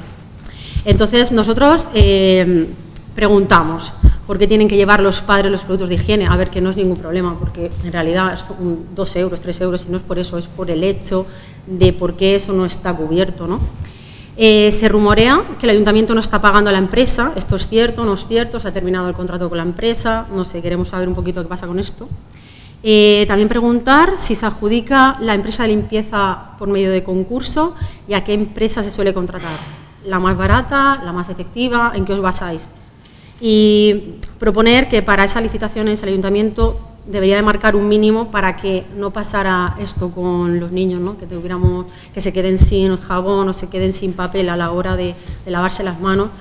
es una propuesta también, ¿no? aparte de las preguntas. Y dentro del colegio, ya que estamos hablando del colegio también, eh, pues muchas familias nos comentan que hay un solo profesor de religión por lo menos te podemos hablar de infantil, ¿vale? Eh, los niños eh, disfrutan de una clase cada tres semanas mm, de religión. Entendemos que para las familias que apuntan a sus hijos a religión es porque para ellos es importante y quieren que den esa asignatura. Y es lo mismo que pasa con los padres que apuntan a sus hijos en vez de religión a ética, que mm, se quejan porque no dan la clase de ética como tal, o sea, lo hacen como más bien una obra libre de juegos, de plastilinas, tal, que podría estar bien, pero eso se tiene que comunicar. Si pone clase de ética, los padres piensan que sus hijos van a clase de ética, no que están en una hora libre o jugando a algo, ¿vale? Em, también tenemos quejas, supongo que esto habrá pasado más tiempo porque eh, el patio, por ejemplo, de infantil no el, grande de, la entrada, sino el otro, es muy pequeño. Y dentro de lo pequeño, bueno, puede ser pequeño, pero lo que faltan son actividades, ocio. Son niños muy pequeños y necesitan pues columpios, toboganes, juegos, eh, bicicletas y el otro patio de delante está genial, pero ese se queda muy, muy corto. Entonces, si se tiene pensado poner más actividades, más juegos o qué se tiene pensado en este tema. Y bueno, eh, como solemos decir muchas veces, que lo hemos dicho un montón de veces ya, pues el tema de la rotonda de la calle Jorge Juan, eh, pues hemos intentado dar una propuesta, no sé si será efectiva, si gustará o no, pero bueno, hemos intentado dar una propuesta porque vemos el peligro que hay ahí. Eh, entonces, queremos dar solución a la rotonda y es hacer ese tramo de la rotonda peatonal, así la concienciación de los conductores en ese sentido aumenta es la referencia que tenemos nosotros de, otro, de otros municipios, de otras ciudades, ¿vale? Entonces lo hemos pensado así. Porque ya que no se pueden poner badenes, porque en su día aquí lo dijimos y dijisteis que no se podía, que era inviable por el tema del agua, el agua plana y todo esto, entonces hemos pensado esa propuesta, por darle algún tipo de solución. Lo que sí que nos dijeron es que se pondrían señales luminosas que a día de hoy no están colocadas. Entonces queremos insistir en el peligro de esa rotonda. Se va a hacer algo al respecto nos parece muy importante. Y bueno, ahora viene el tema caldente, ¿vale? De las placas. Me parece súper importante hablar de esto. El 30 de mayo de 2022 se presenta el proyecto de instalación solar fotovoltaica Secano con su estudio de integración paisajística. 27 eh, días antes, cuando publicáis una consulta a través de Google Drive y la web del ayuntamiento, que casualmente no hay ni una sola alegación, y el enlace está roto a día de hoy. ¿No hacéis una rueda de prensa explicando a los monfortinos que había un periodo abierto para alegaciones? Porque una empresa quería instalar una planta fotovoltaica a las puertas de numerosas casas. Entendemos aquí que vosotros, o en su caso, quien estuviera, se, dijo, se colgó en la web, ayuntamiento, portal de transparencia, todo eso está genial, pero hay muchísima gente, o la mayoría de gente del pueblo, que no ve eso, o no tiene acceso o son mayores, no se enteran. Entonces creo que eso teníamos que haberle dado más bombo y darle a la gente mm, la voz para poder hablar de ese tema y poder solucionarlo, porque ahora es muy difícil. En el pleno ordinario del 4 de mayo de 2023 omitís la información sobre la instalación de la citada planta en el secano y la alcaldesa dijo, y se lo leo literal, queremos protegernos de esta fiebre de la fotovoltaica porque hay 21 solicitudes. Es cierto que donde no molesten y se pueda, por supuesto, se podrán poner, pero no vamos a permitir que se instalen bajo ningún concepto en las zonas de cercanía de vecinos y campos. ¿Por qué ustedes mentían ese día y siguen mintiendo ahora también? Se lo pueden explicar al pueblo, porque me parece muy grave, es que es un, tema muy caldente. Y, por cierto, hablando de esto, el nuevo decreto del Consejo Valenciano, el tope máximo ahora se da del 10%, vengan de donde vengan. Entonces esperamos que las solicitudes a partir de ahora, eh, con esa cantidad, pues sean rechazadas. Y hasta aquí. Contesta la concejala de Medio Ambiente a, la pregunta sobre las placas fotovoltaicas. Mm, lo del profesor de educación entiendo que era un ruego. El profesor de, el del profesor de religión, no sé si es que hay menos, mm, porque no lo he entendido, ¿eh? porque hay menos profesores de religión que antes o porque no da o no puede dar las suficientes clases. Se supone, por lo que yo sé, por lo que me han dicho también, ¿vale? Sí, se puede entenderlo bien. Sí, porque se supone que falta un profesor de religión, como que tienen que venir. Eso es lo que me han dicho, por eso la pregunta. Si falta, si van a venir, si va a seguir siendo solamente una clase cada tres semanas, por saber. Vale, no. Yo te contesto. Eh, no solo faltan profesores de educación, puedes llamar a otros municipios. Faltan un montón de profesores porque la consellería no adjudica las plazas. Consellería no nos las Claro, claro. no podéis hacer nada en el Pedirle a Consellería, como se hace en sede parlamentaria en Valencia cada día, que cubran las... Pero se pide, por lo menos. No, nosotros no lo hemos pedido porque no nos lo había pedido el colegio tampoco, porque el colegio depende de consellería y por tanto el colegio directamente le pide a consellería las competencias de consellería y a nosotros las nuestras. Claro, sería siendo la directora del colegio una persona mm, dependiente de la consellería, sería absurdo que llamara al ayuntamiento para decirle a su jefe, dadme, mandadme un, profesor. nosotros nos podemos sumar, no, nosotros nos podemos sumar y evidentemente mm, y si nos parece a todos bien y vistos cómo está eh, la Consellería de Educación. Si cuando lleguemos al siguiente pleno no se han cubierto las plazas, esperemos que sí, porque estaríamos hablando ya de pleno de noviembre, pues lo que podemos hacer es una declaración institucional, todos los partidos unidos, que no tiene más mm, hecho que ser una declaración institucional solicitando a Consellería esa solución. Me parece bien que cobrar las plazas, pero claro, es lo único que podemos hacer, una declaración institucional de pleno exigiendo a, pues, a cada uno que haga su trabajo. Eh, tiene la palabra Noemí para contestarte al tema de las plantas fotovoltaicas. Bueno, eh, un segundo, perdón, por organizar el pleno. ¿Vos, vos- ¿Vuestro turno ha, terminado? No. Ah, pues entonces no, es que pensaba vale, que había vale. terminado el turno de Vox. Vale, vale, perdón. Bueno, em, yo quería, esto también es como ruego, ¿no? Y por mejorar un poco la situación de lo que estábamos hablando, para que mejoremos todos un poco. Y entonces este tema va sobre el tema de la comunicación.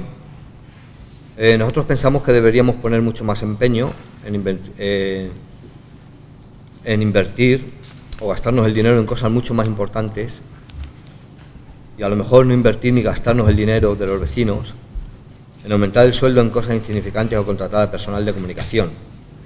Lo refiero porque, porque una- una comunicación que también deja muchísimo que desear.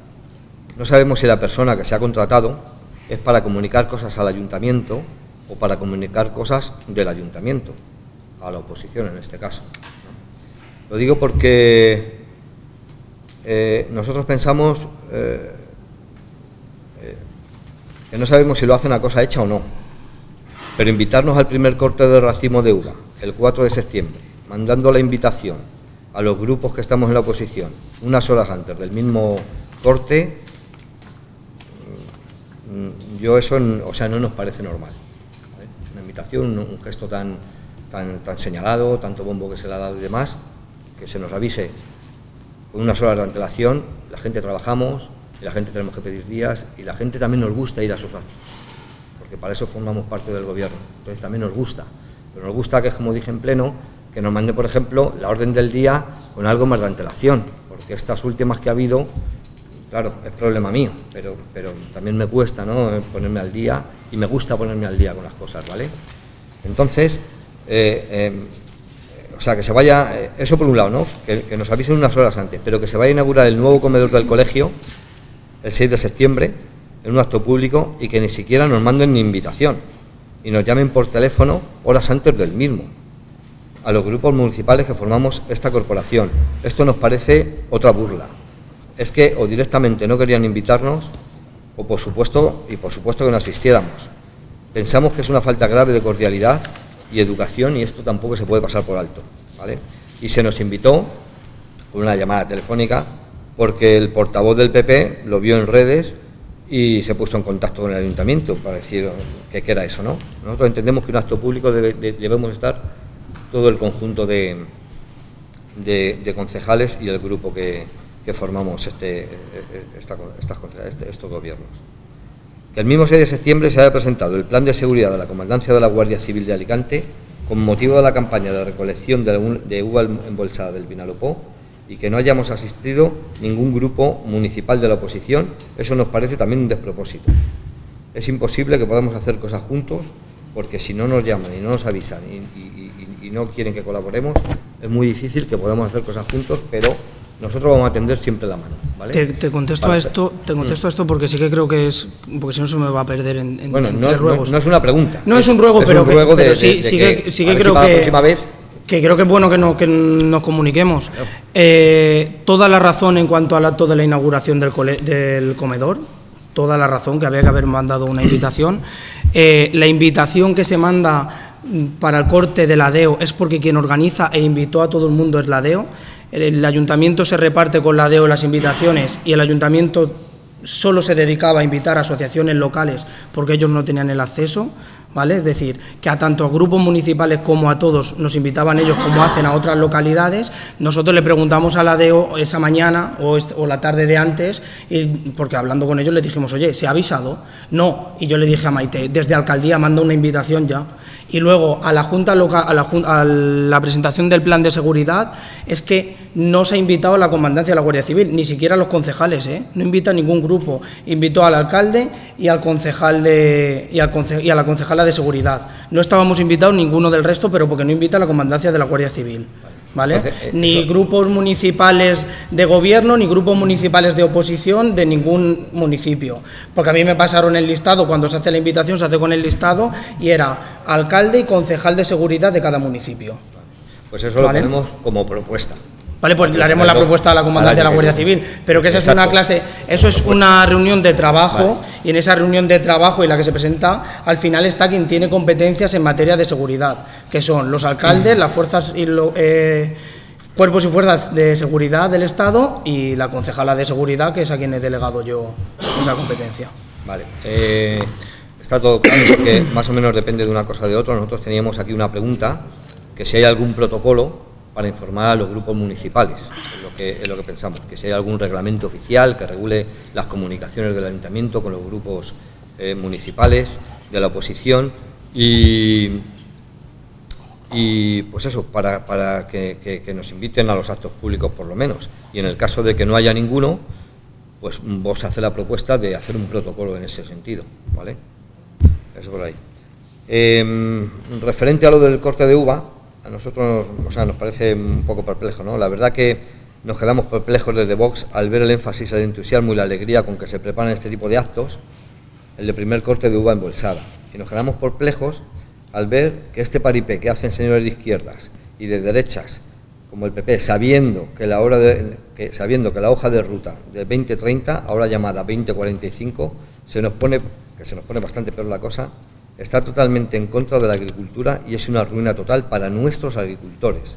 Esto lo llevamos demandando desde el principio de legislatura. Yo entiendo que es un pueblo agricultor y pienso que no hacemos nada a favor de ellos. Mm, No los ayudamos, es lo que yo pienso, ¿vale? Eh, nuestros agricultores están hartos de que por parte del ayuntamiento y de todos los que estamos aquí, vuelvo a repetir, tenga- no tengan ni un solo apoyo, que tienen olvidados campos, viñas, caminos. La mayoría de los agricultores no están nada contentos con la forma de gobernar de este ayuntamiento, que se sabe que se van a cargar la agricultura y no hacen nada por evitarlo. Todo ello por seguir las directrices de esta dichosa agenda, que imponen desde Bruselas y que repercute directamente a nuestros agricultores. Restricción de productos fitosanitarios, de insecticidas, de abonos. Así es imposible que nuestros vecinos salgan adelante. En cinco años, el 60% de nuestros agricultores tendrán que abandonar sus tierras y casi toda una vida. De nada sirve que el señor alcalde. eh, de nada sirve, señor alcalde, las exigencias del relevo generacional que le hizo al presidente de ofrecer un terreno para hacer una FP para formar jóvenes agricultores, si la agricultura en este pueblo va a desaparecer. De nada sirve que hable usted de sus generaciones antepasadas porque las futuras no van a existir. Ya le contestó que estuviera usted tranquilo, que el relevo generacional, con el relevo generacional, que no había impuesto de sucesiones ni de donaciones. Que por cierto, se le olvidó decir al señor presidente que esa propuesta la llevaba Vox en su programa y fue aprobada por ley en las Cortes Valencianas, que si los valencianos no tenemos que pagar esos impuestos es gracias a Vox. Que el señor presidente hizo empeño en el desdoblamiento del Júcar Vinalopó y la verdad que no sabemos para qué se usará ese agua cuando ya no haya agricultores. O a lo mejor sí, para la plantación de las placas solares. Es todo tan teatrero que los agricultores están hasta el gorro, sombrero en esta tierra, de sus políticas.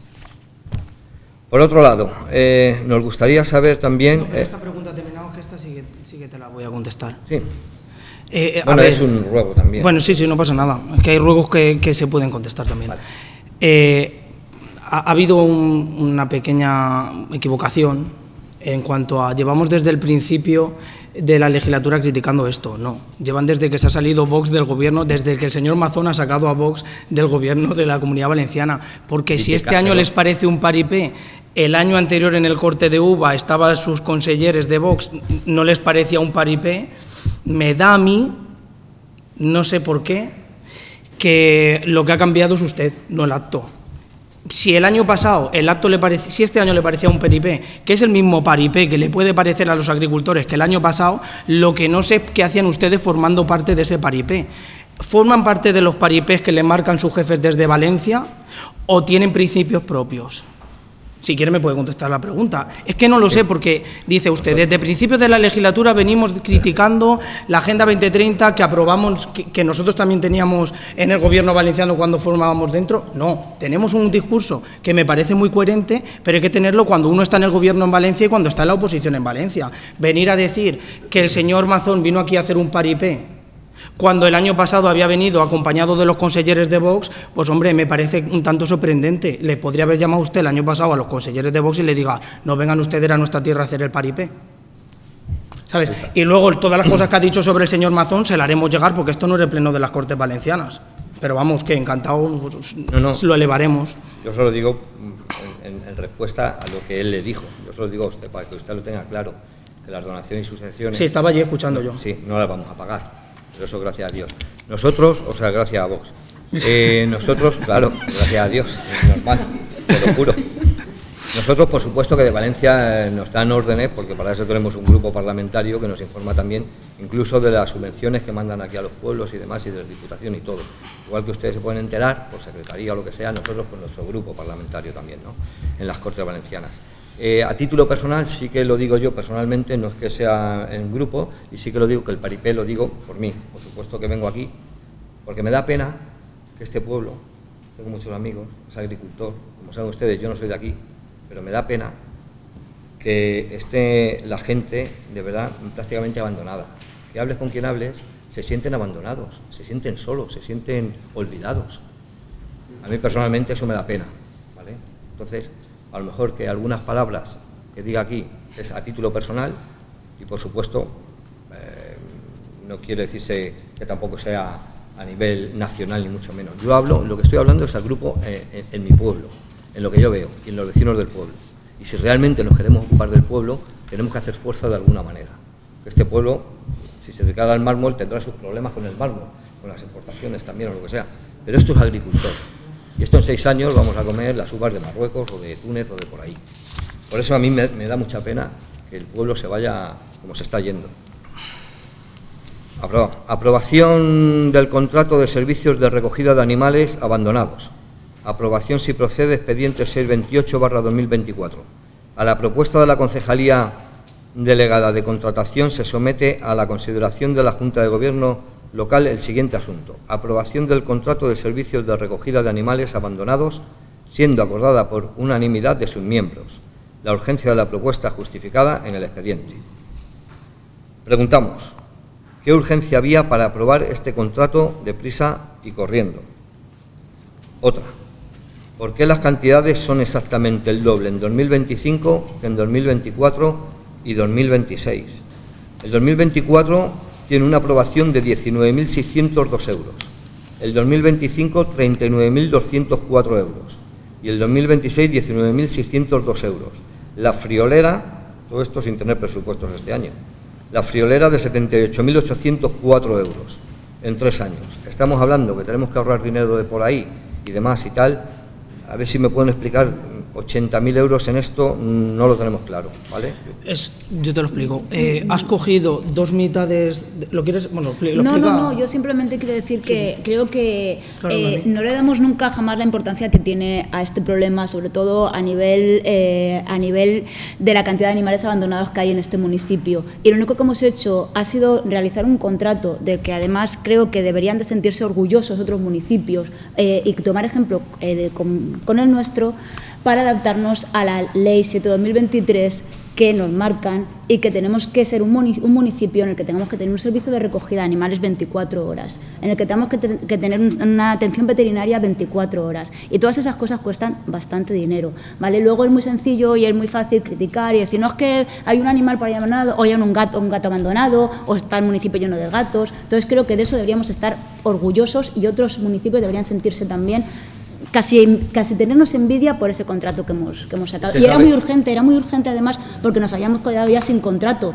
Y entonces a lo mejor cuando nos hubiéramos encontrado por el municipio mm, 20 perros eh, extraviados, abandonados y que nadie los hubiera recogido, pues creo que nos hubiéramos encontrado con un problema bastante mayor. Por ahí, de ahí viene la urgencia.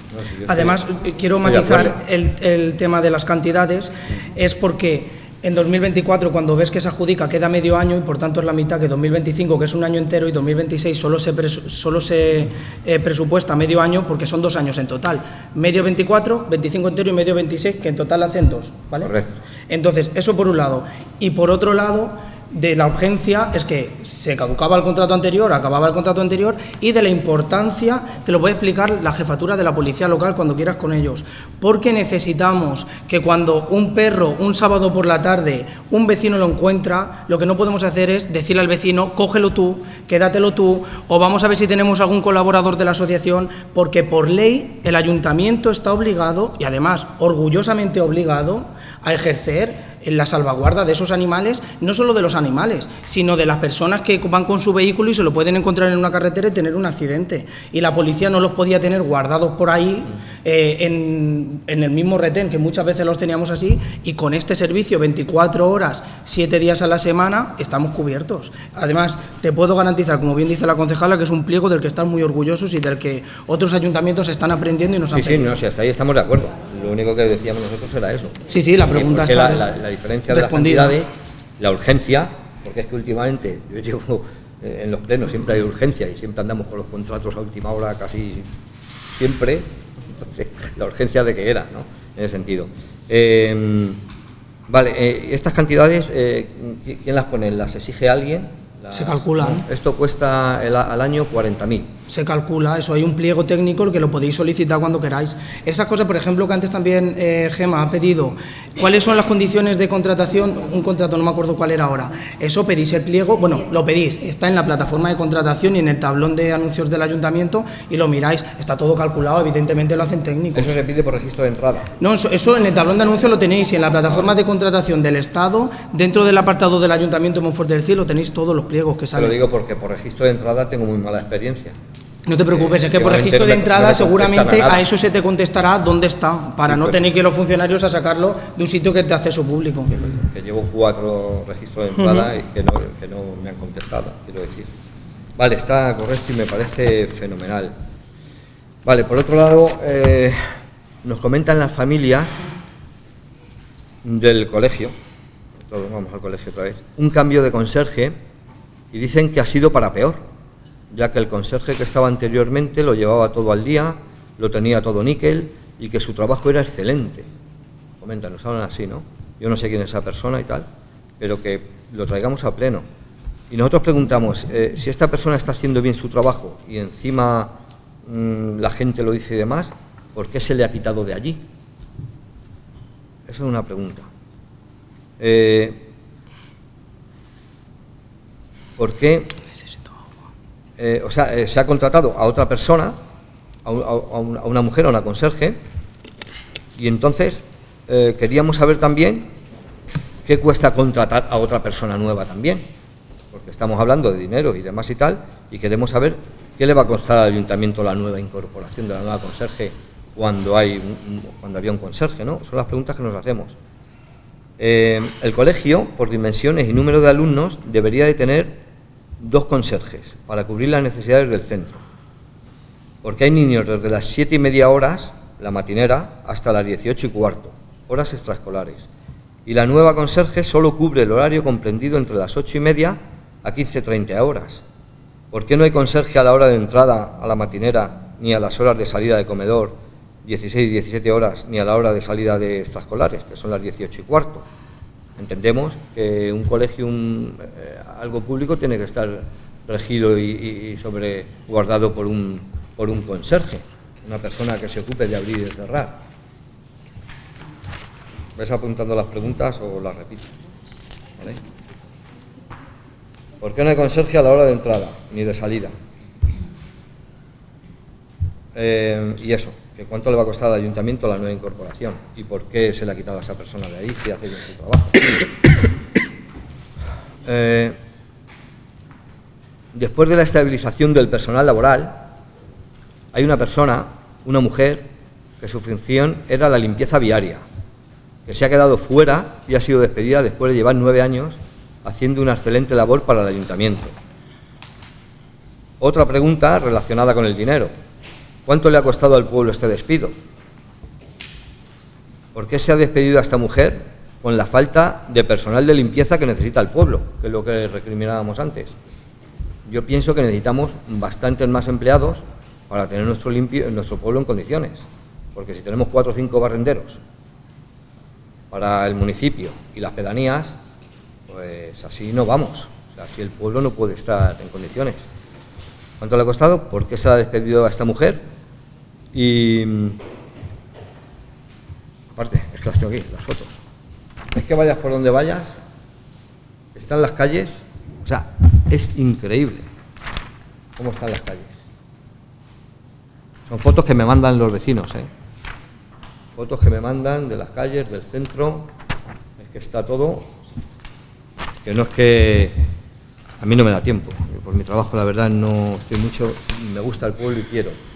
Es que es todo, o sea, es que es increíble.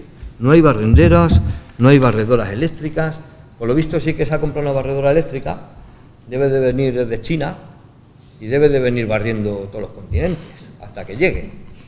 Porque vamos, no sé dónde está. Esto, por ejemplo, es de Orito, que me lo han mandado vecinos de Orito. Yo, todo esto que hago aquí me lo mandan los vecinos y yo, de verdad, que si quiero algo es porque que, los vecinos estén contentos del pueblo que tienen. Yo la verdad es que no, de verdad. Hay algunas repetidas porque me las mandan y digo, no me mandéis tantas. Estas de las aceras de Orito, con yerbajos, pero que hay un montón por aquí también. La papelera de la iglesia, el fin de semana. Es que es súper gracioso. Yo es que me quedo flipado. es que a mí me divierte mucho, la verdad. La papelera, la papelera, nada, tres o cuatro fotos. Las palmeras, los árboles secos. Pero que entras por la, por la rotonda de aquí de, de Agos y las cuatro o cinco palmeras que hay allí tienen, no sé si no hay palmereros, si no se arreglan las cosas. Da un aspecto el pueblo de Guarrete. No, digáis ahora que yo le he dicho guarro al pueblo, porque lo mismo, pero da aspecto de Guarrete, coño. Y yo, y yo vivo aquí, ¿eh? Y yo vivo aquí. Y a mí, no, pues oye, yo si puedo aportar algo, todo lo que queráis está de mi mano, ¿vale? Todo eso por un lado, Eh, tengo aquí una pregunta del millón porque me parece curioso. La persona que ha ocupado y cogido la plaza de limpieza viaria, en decremento de esta persona, ¿está haciendo el mismo trabajo que desempeñaba esta mujer, la mujer despedida? La persona que está ocupando su puesto está haciendo la misma función. Estos cambios no hay quien los entienda, porque hay muchísimo personal que no está en su sitio y ustedes no actúan de igual manera y contratan puestos teniendo otros cubiertos perfectamente y donde no hace falta contratar. Em, ¿Por qué la conserje del polideportivo, por ejemplo, está en el pabellón municipal? ¿Por qué el conserje que hay en el polideportivo no está en su sitio, que es obras y servicios? ¿Por qué la que está limpiando la guardería no está en su sitio de limpieza viaria y no hay barrenderos? Como he dicho antes, hay cinco para todo el pueblo y para, y para todas sus pedanías. Y así Monforte no avanza. Ya se lo digo yo. ¿Por qué el que está de conserje en el campo de fútbol no está en su sitio, que es la escuela de adultos? Porque íbamos a arreglar el RPT, no sé cuándo empezaremos. ¿Por qué la persona que ha cogido la plaza de la mujer despedida y, lleva, y llevaba nueve años no está en su sitio, es la de limpieza viaria? Esa ya la he contestado ya la de antes. Eh, todo esto y, muchas más, ¿no? pero vamos a ver si empezamos por algún sitio. Cambiando de tercio, volviendo al colegio y al comedor del cole. Pregunta, ¿está puesta ya el agua caliente del comedor? Pregunta, ¿está puesto el gas ya en el comedor? Ya que el lunes 16 empezaron a hacer la zanja para conectar el mismo.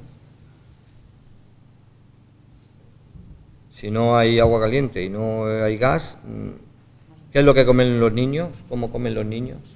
Claro, de bocadillos tienen que llevarle el gel, los bocatas, el pan, el, papel. Así no vamos. Para terminar, ya, voy a terminar ya. Faltan dos meses para las fiestas patronales. Rogamos que no se esperen la renovación del contrato anual a última hora cumple el 23 del 11 del 24. para que ponga la luz y la decoración ornamental antes que el año pasado, para las fiestas de Mole Cristiano y Navidad, que por lo menos se note el pueblo que tiene un poco más de alegría y de fiesta, ¿vale? Em, que por cierto, eh, asciende a una cantidad de 78.152 euros. Yo imagino que eso estará, bien, ¿no? pero si podemos ahorrar algo y, mejorar las cosas, mejor. Pedimos también al señor concejal de fiestas, que hoy no está aquí, el Pascual, que no se haga el dispendio tan bochornoso del año pasado de gastarse la friolera de 6.200 euros en, ilumina- eh, en, iluminar, en iluminar de rosa lila la fachada del ayuntamiento para las fiestas, que Nuestra Señora y nuestro pueblo visten de azul. Festeros muestran su desencanto con el ayuntamiento porque se riegan demasiado las calles empapándose los trajes y piden que por favor no echen tanta agua. Eso me lo han pedido a nivel personal, que no se eche tanta agua en las calles cuando haya desfiles y demás. Y no tengo nada más que aportar. Yo mm, por hace años que no se echa agua. Bastante año- bastantes años solo echamos ya en la zona de detrás porque hemos desplazado la toda arcabucería y es obligatorio echar agua después de echar la pólvora. Sí, pero un poco menos. Mm. Es lo- Es lo que se comentaba y comentábamos el año pasado los festeros. Vale, no pasa nada. Hay que echar agua, si lo entendemos, porque se ha echado siempre. Pero charcos, charcos de, de las capas empapadas, Si es que se baldea. 40 centímetros, se baldea el agua. Se baldea, se baldea la calle. Después de, después de cada todo eso se tiene que baldear la calle. Sí, pero que decimos que es un ruego, un poco menos. Si no, tiramos el camión cisterna y ya está, no pasa nada. En vez de capas, pues vamos un pantalón corto. Que aquí en este pueblo no hace frío tampoco. Será por el cambio climático. Gracias. Tiene el turno de palabra el Grupo Municipal Popular. Sí. Bueno, nosotros en primer lugar vamos a poner un poco de vamos a bajar un poco la tensión. no, queríamos queríamos agradecer a la concejala de seguridad eh, el trabajo que está haciendo porque tuvimos una reunión con ella, ¿vale? Por unos temas de seguridad que nos preocupaban del pueblo y hemos visto que en poco tiempo se está haciendo efectivo y desde aquí desde el grupo queremos agradecerlo, ¿vale? Eso en primer lugar.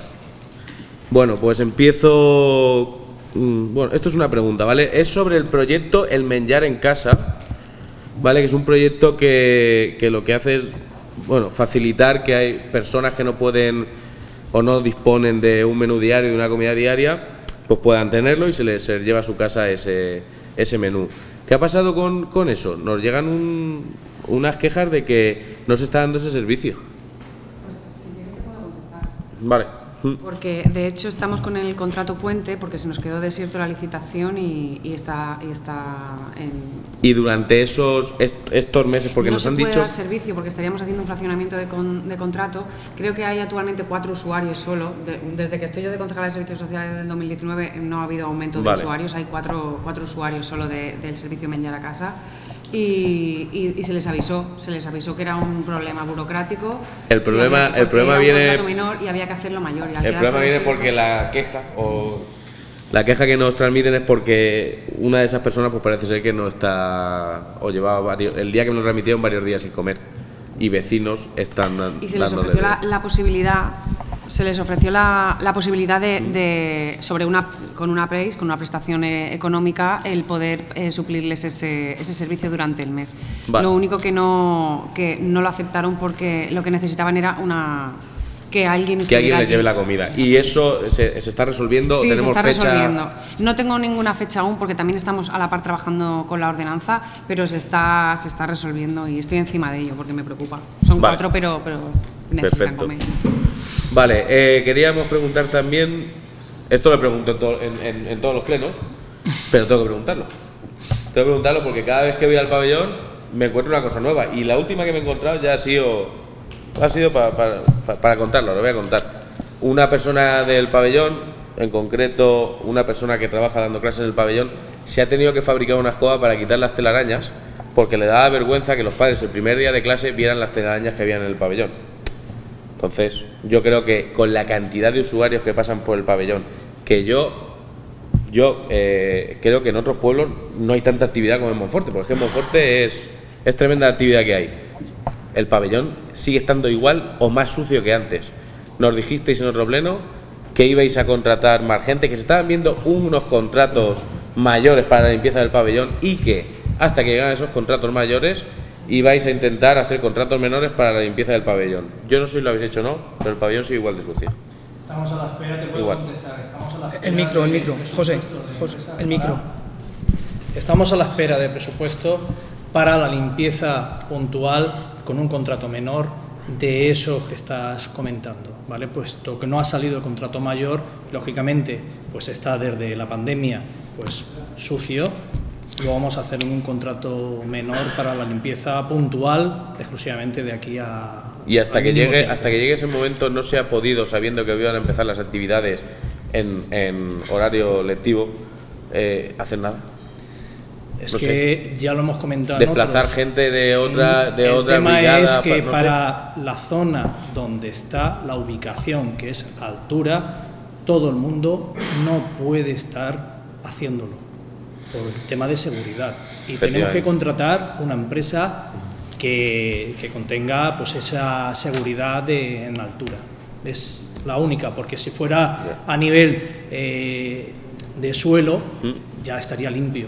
¿Ves? En unas zonas que lógicamente no es cuestión de que los propios empleados se pongan allí a hacer o, o deshacer por el tema de seguridad exclusivamente. ¿Y tenemos fecha de cuándo van a estar esos contratos? No te puedo decir fecha en concreto, pero esta semana estábamos a la espera, no sé si mañana último día de, de la semana tendríamos ya presupuestos para, para hacerlo. Vale. ¿vale? No lo sé si eso es rápido, corto, porque ya te digo que en principio las empresas que esto lo llevan tiene que ser un poquito para el tema de altura, nada más. Vale. Eh, queríamos también información sobre cómo está, porque lo vemos, aquello parece un poco abandonado. Sé que hay varias cosas ahí, pero no, nadie nos aclara nada. El tema de la casa del polideportivo, ¿qué pasa con esa casa? Porque esa casa no se le da actividad, no se hace nada. ¿El mesón? Sí, el mesón. El mesón está aprobado en Planifica. En Planifica 2020, no sé si es 2023 o 2024 o 2027-28. Pero los eso- primeros años. 24-28. Se va a empezar a, re- se va a empezar De a- hecho, a- se, se licita ya el proyecto porque en 2025 empieza la subvención. Y tienes ahí la parte de proyecto, es pública, ¿eh? Lo publicó el. Vale. El BOP la lo publica la Diputación y pone las anualidades. Va el, el mesón, Mm. ¿vale? Que en 2025 tendríamos que tener el proyecto redactado y el inicio de las obras. 2026 también van obras. Según, el, según la anualidad de la, de la adjudicación. de obras. No, Vale. Según la anualidad de la subvención, ¿vale? Vale. Y luego van las plazas estas, de Plaza Santa Ana y Plaza San Pascual, que llevan todo el alcantarillado, que van en la segunda actuación, que creo que está presupuestada por la Diputación en el 27-28. Hemos hecho una consulta verbal que nos tenían que decir por qué canal canalizarla, pero que volveremos a llamar, eh, para ver si nosotros podemos empezar ya con el proyecto de estas, para no dejarlo para 2028, si el ayuntamiento podía adelantar ese dinero y si la Diputación no nos puede dar el dinero en 2027, en 2027 porque lo tienen para el 28, pues oye, que luego sí que nos valieran las certificaciones de obra. Vale. Y si podemos ir adelantándolas, pues las adelantamos, porque es verdad que ya están todas las memorias, que estamos en disposición de contratar los proyectos y no nos queremos esperar hasta el ¿Y qué, 28. hace, y qué hace falta abrirlo? ¿Qué hace falta abrir El mesón sí, el, el mesón se puso como, que hace falta que lo coja como preferente. y se le dé vida y, Ahí o, está. o que se le dé vida de otra manera. No sé cómo queráis verlo, pero hay que darle vida. a No esa- solo va el mesón, bueno, van más de Esa- 400.000 euros en, en proyecto, no solo va el mesón, sino que va el mesón y la urbanización de alrededor. Sabéis, lo he dicho, no sé si lo he dicho aquí, porque al final hablo con muchos vecinos, hablamos fuera también de aquí. El problema del mesón es la urbanización, es que hay que canalizar las residuales que tiene un, un pozo ciego y que mm, no es legal. ¿vale? Entonces habría que sacarlo a la puerta del, a la puerta del, del polideportivo y por tanto urbanizar todo el vial que entra. Que se ha previsto que además arregle el murete, que haga una especie de vial peatonal, para- porque ahí al final es una calle que coche, peatón, Vale. Es decir, que sí que lleva también la, la adecuación de la zona de los pinos y de alrededor. Confiamos en que el proyecto ese va a poner en marcha algo que creemos que es importante, que es revitalizar el polideportivo, a través del mesón, pero también actuar sobre, sobre la importancia que tiene el poli. ¿Y se ha, se ha pensado ya que se va a hacer ese proyecto en renovar un poco el tema de las piscinas? Porque los suelos de las piscinas del polideportivo y los bordes Es, se, ha- se ha renovado alguna. Están viejos, están... Faltaban otras por renovar. Es un proyecto de una magnitud muy grande de dinero. Y bueno, lo que hicimos, lo sabéis porque mm, vino el ministro el día que, que os avisé y os dije también los temas que íbamos a tratar, porque me los preguntasteis y, y además me interes- nos interesan a todos, era ver la mm, disponibilidad del tercer carril. Lo que no queríamos era planificar inversiones. Nos dijeron que no hay ninguna previsión de tercer carril a día de hoy en esa zona, por lo tanto, que sin miedo hiciéramos las inversiones que las podríamos revertir. Ahora bien, hay que hacer un estudio detallado de hacer una inversión mm, lo suficientemente importante para adecuar eso y ponerlo mm, sobre todo mm, cuidar su imagen, ¿no? Porque al final da un buen servicio, pero creo que tener una imagen más moderna también va a atraer a los usuarios. Sí. Pero mm, también sabiendo que, es, mm, que nosotros estamos proyectando una ciudad deportiva y nuestra intención es proyectar una ciudad deportiva donde está el pabellón, porque la parcela dotacional es mucho más grande.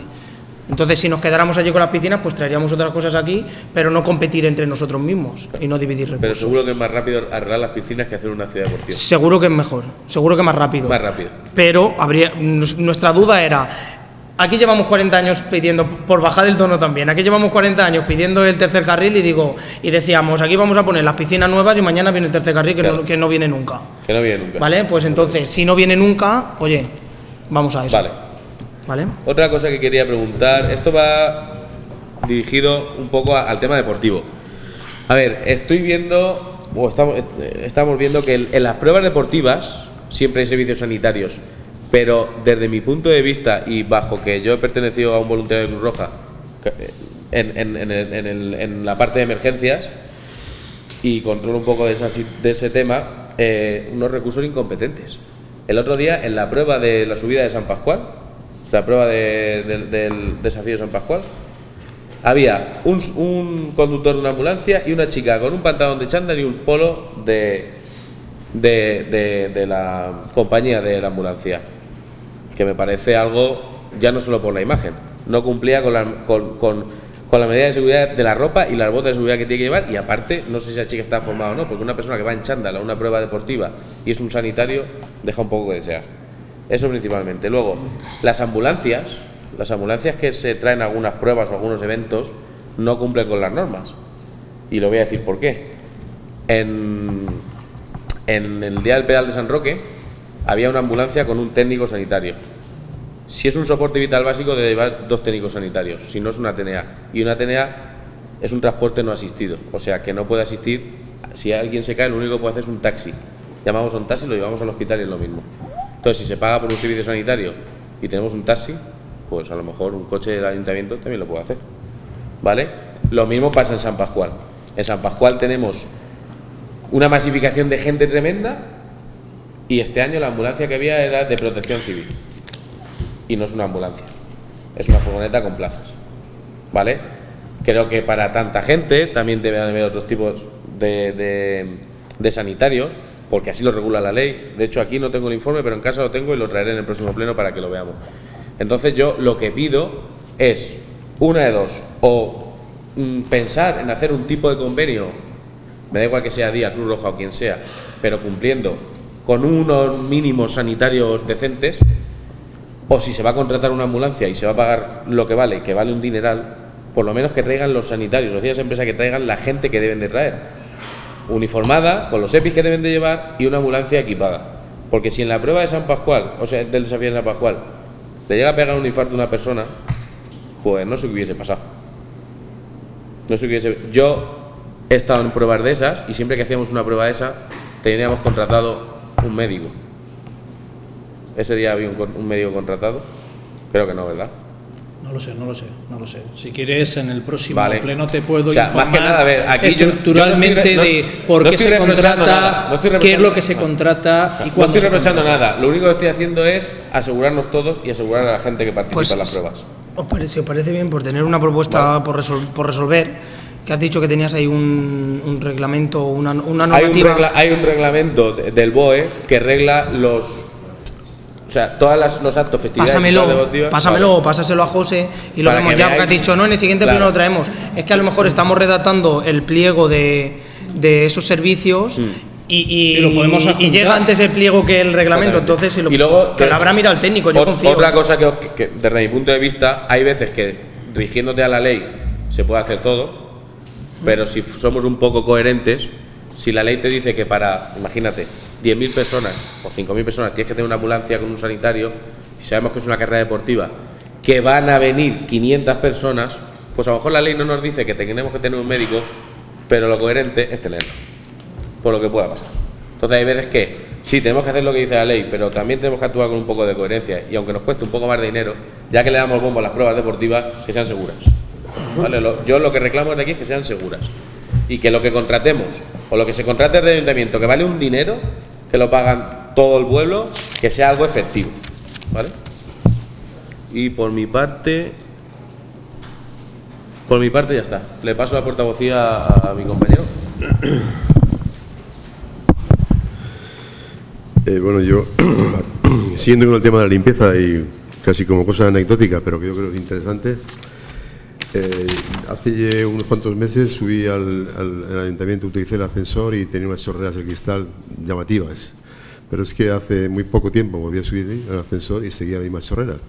Entonces, claro, eh, la estética tan desagradable que da eso da la sensación pues bastante incómoda ¿no? para, para el usuario de ello, ¿no? Y por tanto también para la, categoría o la consideración del ayuntamiento. Por tanto, hago este comentario a efectos de que, bueno, si no habéis caído en la cuenta en que están así, pues que se, que se aproveche y se limpie. Yo tal vez comprendo de que si las chorreras están por la parte externa del cristal, pues a lo mejor es complicado, pero bueno, habrá un procedimiento para limpiarla, imagino, ¿no? Y en ese sentido también, en cuanto a la limpieza, también eh, somos un poco reiterativos en este, en este aspecto, pero es que hay Aparte de que la limpieza no es la más deseable, como estaba comentando el portavoz de Vox, es que a la altura de la intersección del de camino de Azagador con digamos lo que va del acceso hacia la, hacia la autovía, ahí hay un contenedor de, de, basuras, pero es que han descargado sofás, sillones y mil cosas de muebles. Y lo curioso es que llevan ya, pues yo creo que tres semanas o por ahí, ¿no? Y no se recoge, no recoge nadie, ¿no? Y eso también da una, impresión bastante negativa de la limpieza del pueblo, porque además es muy evidente, ya digo, son sillones y sofás y, otro tipo de mobiliario. ¿no? Por tanto, pues ruego que evidentemente se tenga un poco más en cuenta ese aspecto y se, se aplique la limpieza que se considere oportuna. ¿no? El juzgado de paz me comentaron ahora no hace mucho si se había tenido en cuenta el ruego de intentar eh, habilitar las dependencias que tienen para que su trabajo fuese un poco más eh, acorde con las nuevas necesidades, que ya lo comentamos esto en un pleno. Y aunque eh, digamos que estos los, empleados son dependientes del Ministerio de Justicia o de la Consejería de Justicia, pero las dependencias son municipales y bueno, yo creo que ya están un poco viejas, para que sean de los años 50 o por ahí, ¿no? Y sería interesante, si es posible, pues invertir un poco en ello y, dejarlas en un poco más de condiciones para su actividad. Eh, ahí el otro día, bueno, y también continuando con el aspecto de la limpieza, me viene también a la memoria el comentar eh, lo que ya se ha tratado en otro pleno, pero vamos, yo considero, yo soy reiterativo, como ocurre con lo del mercado, ¿no? Y es la, ubicación del ecoparque. Yo sigo pensando de que poner un ecoparque en un, en un paraje natural, en un parque, no un paraje natural, sino en un parque, pues menos me parece lo más adecuado, una zona verde, ¿no? Y entonces, pues bueno, pensando en posibles soluciones, yo creo que un sitio perfecto para poner un ecoparque, excepto los problemas urbanísticos que pueda haber, que me lo vais a seguramente a, poner en, vamos a manifestar, es precisamente el camino de Azagador. Allí hay una serie de, empresas, de empresas que se, han, instalado, un poco cada una a su aire, pero en fin, respetando más o menos un urbanismo un poco anárquico un poco, pero bueno, en definitiva han respetado algunas calles y tal. Bueno, total, digo esto porque hay allí unos cuantos corrales que ya no se utilizan para nada, pues que incluso están en venta, que supongo que el coste no sería excesivo y que yo pienso que ubicar ahí un ecoparque sería estupendo porque es fácil de acceso por parte de los vecinos, con lo cual tal vez se utilizaría más el ecoparque y no se dejarían los muebles por ahí tirados. Y por otra parte se seguiría respetando el Parque de las Norias como un parque, que en un futuro pues ahora a lo mejor está un poco más descuidado porque, en fin, por las condiciones que sea, pero puede llegar a ser un parque parque, ¿no? Y entonces meter ahí un ecoparque pues creo que no es lo más adecuado. Eh, otra cosa es con respecto también a un paraje, a un paraje y es que el paraje de la, de la Gualeja, la zona de la Gualeja, donde y la, terraza de los toros, que se llama y demás, eh, me he fijado que cuando se hizo el, catálogo de bienes de, fin, de especial protección, ¿no? de parajes y edificios y entornos, eh, que se había descatalogado, me parece ver, haber visto que se había descatalogado como zona arqueológica. Se había descatalogado la terraza de, la terraza de, los, toros, que es donde se encontraban los toros, se había descatalogado también la Gualeja y, recuerdo otro, un par de sitios más, pero en este momento sí, uno que estaba próximo al Azul, creo, y otro más. Pero en fin, eh, la pregunta es que si está descatalogado, y yo considero que ese, ese entorno es un, un entorno de especial protección arqueológica, porque la arqueología no solamente consiste en ver grandes monumentos o grandes piezas eh, escultóricas como es el, nuestro, nuestro toro eh, íbero o, ibérico, sino que también evidentemente es, eh, pues, digamos, yacimientos que aunque no aporten una vistosidad extraordinaria, pero sí que aportan una información sobre la cultura, sobre la moda, la forma de vida, etcétera, ¿no? Por lo tanto, considero que si está descatalogado, como yo entiendo que está, según el informe que yo he visto, pues que se pueda, se pueda valorar la posibilidad de volver a catalogar esto pues para que tenga unas medidas un poco especiales de protección, ¿no? No, no, no, queda descatalogado, es que está, eh, eso está catalogado en el catálogo de protecciones y este es uno de paisaje, ¿vale? Cuando aprobemos el de paisaje será un anexo más de plan general, pero no, no, no, no quita el catálogo de protecciones de BICs, BRLs y zonas de yacimientos. ¿vale? Se complementan. Ya, ahí estaba descatalogado. En el, Quizá no aparece en el catálogo de paisaje. En el yo estoy hablando del informe del 2008. Ostras, vale. Que posiblemente... En el catálogo de protecciones de 2008. Sí. Vale, vale. Pues eso, entonces ahí ya tengo que mirarlo. Ahí, ahí, ahí, vale, es que pensaba que decías en el estudio de paisaje que trajimos a pleno del catálogo. vale, vale. Claro, una cosa tal vez sea la, digamos, valoración paisajística y otra vale, vale, la valoración arqueológica, ¿no? Y entonces me resultó curioso que estuviese descatalogado, porque considero que eso hay que es una zona que, es que, porque hay que proteger, ¿no? Vale, pues lo miramos. Sí. Y, siguiendo con el aspecto de la arqueología, eh, el otro día me sentí un poco, un poco avergonzado. Avergonzado en el sentido de que cuando estuvo aquí en el corte del primer racimo y el, ministro, el ministro eh, Manuel Pimentel, pues coincidió que estábamos los dos en la parte externa de, donde la celebración, justo a la entrada de la, de la, finca, y bueno, empezamos a hablar y como yo tenía, sabía de su interés por la arqueología, fue cuando le hice el comentario de que viniese a ver nuestro toro, porque consideraba que era una oportunidad muy buena, muy buena, puesto que tiene un programa en televisión de, de la segunda, en el canal de, público de la segunda, que se llama eh, Arqueomanía, y evidentemente era algo muy interesante que un personaje de esas características, con una capacidad de divulgar muy grande, pues tuviese conocimiento de nuestro museo y de nuestra pieza arqueológica, digamos, de característica o más especial, porque tal vez lo podía promocionar eh, Vicente en su, en su programa. ¿no? Y digo, me sentí un poco, porque evidentemente yo lo vi que se impresionó, le gustó muchísimo y tal, pero me sentí un poco incómodo, un poco digo avergonzado por haber sido un poco el que le había llevado allí cuando eh, no pudo ver el toro en su naturaleza, en su auténtica naturaleza, como tal pieza arqueológica, como estaban los otros, otras piezas, ¿no? que están con iluminación adecuada, pero una iluminación ordinaria. Yo he insistido mucho, tanto al, director del museo, a David, como a los diferentes eh, concejales de, cultura, en que una pieza arqueológica eh, hay que verla como tal, no hay que verla con fantasía, ¿no? porque entonces deja de ser una pieza arqueológica, ya es un tío vivo o es un motivo, digamos, de ilustración o de, montaje, digamos, de carácter eh, artesanal. Yo no me imagino ir al Museo del Prado y, ver pues una pieza como puede ser eh, la Dama de Eche pues llena de estrellitas o lucecitas que se proyectan sobre ella de forma continuada, o no me imagino ir a ver el Louvre, a la Mona Lisa, y ponerle un montón de estrellitas y lucecitas encima de ella y hacerle ahora los ojos amarillos y luego hacerse los verdes. O sea, no me imagino, porque yo voy a ver una obra tal como es, como la hizo el pintor.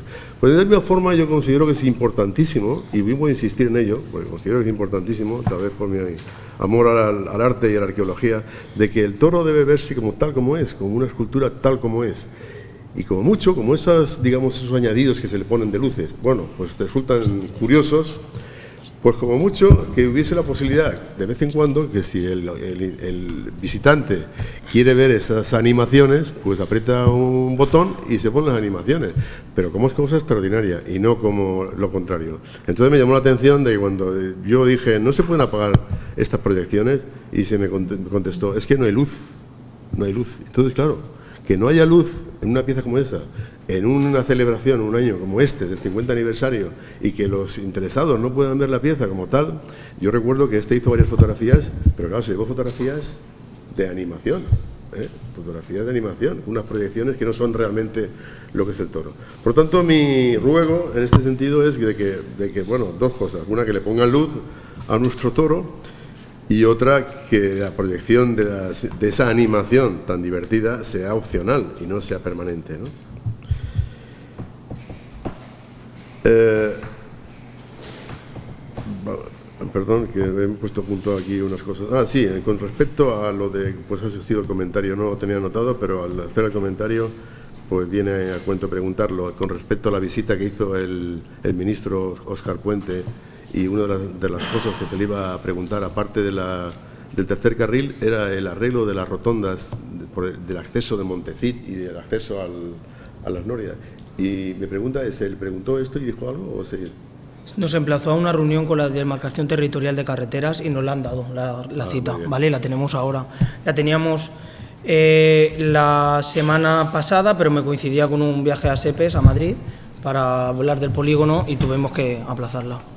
Pero sí, sí, no, enseguida con mucha diligencia nos sacaron la cita el mismo día. Vale, vale. Es que yo también me preguntaron. Para verlo ya con, con los técnicos y sobre plano. Bien, bien. Es que me preguntaban también en Montecique qué había con las rotondas, si se podía, ten- podía tener algún tipo de solución para tener un... Hay un- varias soluciones. Perfecto, pues muy bien, muy bien. Eh, la- el, el pleno anterior, eh, el, el Vox, el portavoz de Vox, preguntó con respecto al carril que une eh, Monforte de Cid con Novelda, con el carril peatonal o compartido de bici y, y- y peatonal, ¿no? Y entonces eh, el señor alcalde re- respondió lo que textualmente leo, de acuerdo con el acta, con el acta de ese día. ¿no? Dice, en 2022 estuvimos viendo con los técnicos de consellería la posibilidad de hacer un carril bici que se dotara de iluminación. Se aprobó en los presupuestos de 2023 de la Generalitat 100.000 euros y se adquirió el compromiso de poner 100.000 euros en el 2024 y desde la Consellería nos dicen ahora que para ellos no es prioridad. El Ayuntamiento de Novelda y nosotros vamos a reunirnos con la Consellería para ver cómo está e impulsarlo. Sí os pediría que tanto Vox como PP pidáis a vuestros grupos en las Cortes de comunicarles lo importante que es esta vía para Monforte de Cid y Novelda.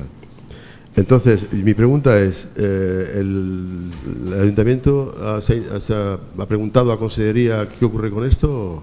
Sí, los técnicos municipales se pusieron en contacto con los técnicos autonómicos y dijeron que tenían órdenes de que no era prioritario, y que es lo que Pero dije en el pleno anterior. posteriormente a esta, a esta- Posteriormente a esto nos hemos emplazado a una reunión Novelda y nosotros, que no hemos podido porque estamos en septiembre, que acabamos de venir de todo el, Sí. el verano y había que desatascar temas urgentes primero. Sí, yo es que eh, sí llamé a la Consellería Ujú. eh, y me interesé. Y curiosamente me informan allí, me informaron Sí.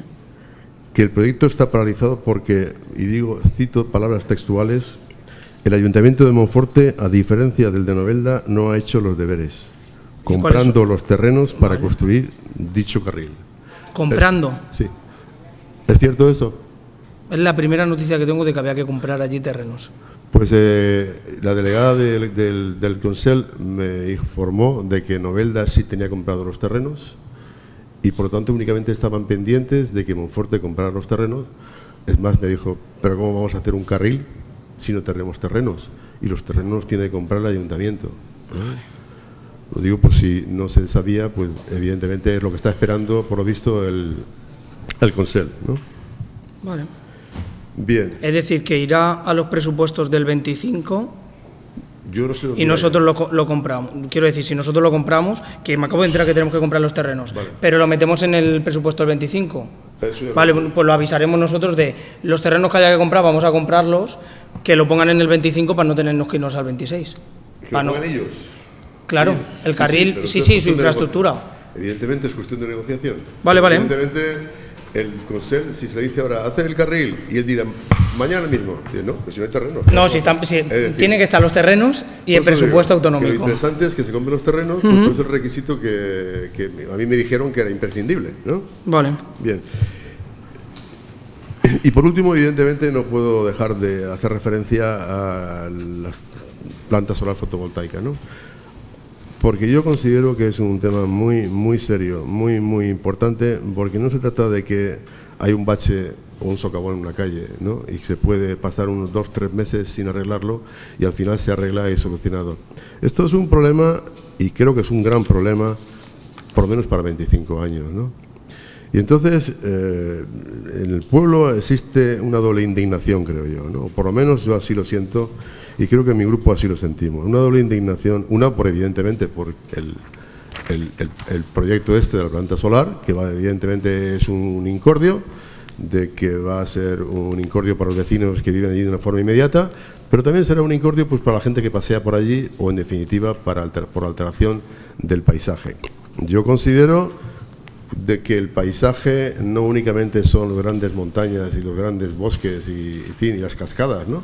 El paisaje, digamos, es un aspecto cultural que pertenece al entorno donde está, donde es habitual que esté ese paisaje. En este caso, en el proyecto pone un paisaje deteriorado, simplemente porque es una zona que está en este momento sin cultivo, pero es que dentro de un año podía estar cultivada, con lo cual ya podría ser un paraje, digamos, más vistoso, que no diferente, porque todos, evidentemente el desierto está pelado y sin embargo es un, paisaje especial. Bueno, por lo mismo ocurre con los parajes de estas características, ¿no? Es nuestro paisaje, nuestro paisaje es así y como es así, evidentemente sería importante el haberlo protegido. Como no se puede proteger todo el término, yo comprendo que las plantas eh, fotovoltaicas tienen que instalarse porque las necesidades energéticas así aconsejan a los gobiernos que se impliquen en ello. Pues bueno, si te lo ponen en otro sitio, pues bueno, aunque se estropee un trozo de paisaje, vale. Pero es que aquí desgraciadamente lo han puesto en tal lugar eh, que deteriora el paisaje del entorno del, pueblo. Y mi pregunta, eh, por eso digo que habían dos situaciones un tanto digamos, incómodas. Mi pregunta es, ¿por qué el ayuntamiento, y ya sé que me van a decir que eh, evidentemente que eso no depende del ayuntamiento, y yo lo comprendo y lo acepto, y no, ahí no voy a entrar, sino por qué el ayuntamiento ha mantenido en secreto esta instalación de la planta mm, fotovoltaica aquí en el secano? Porque es que no puedo, no puedo aceptar, no puedo aceptar, así es, ese es el término, no puedo aceptar que el no lo supiera.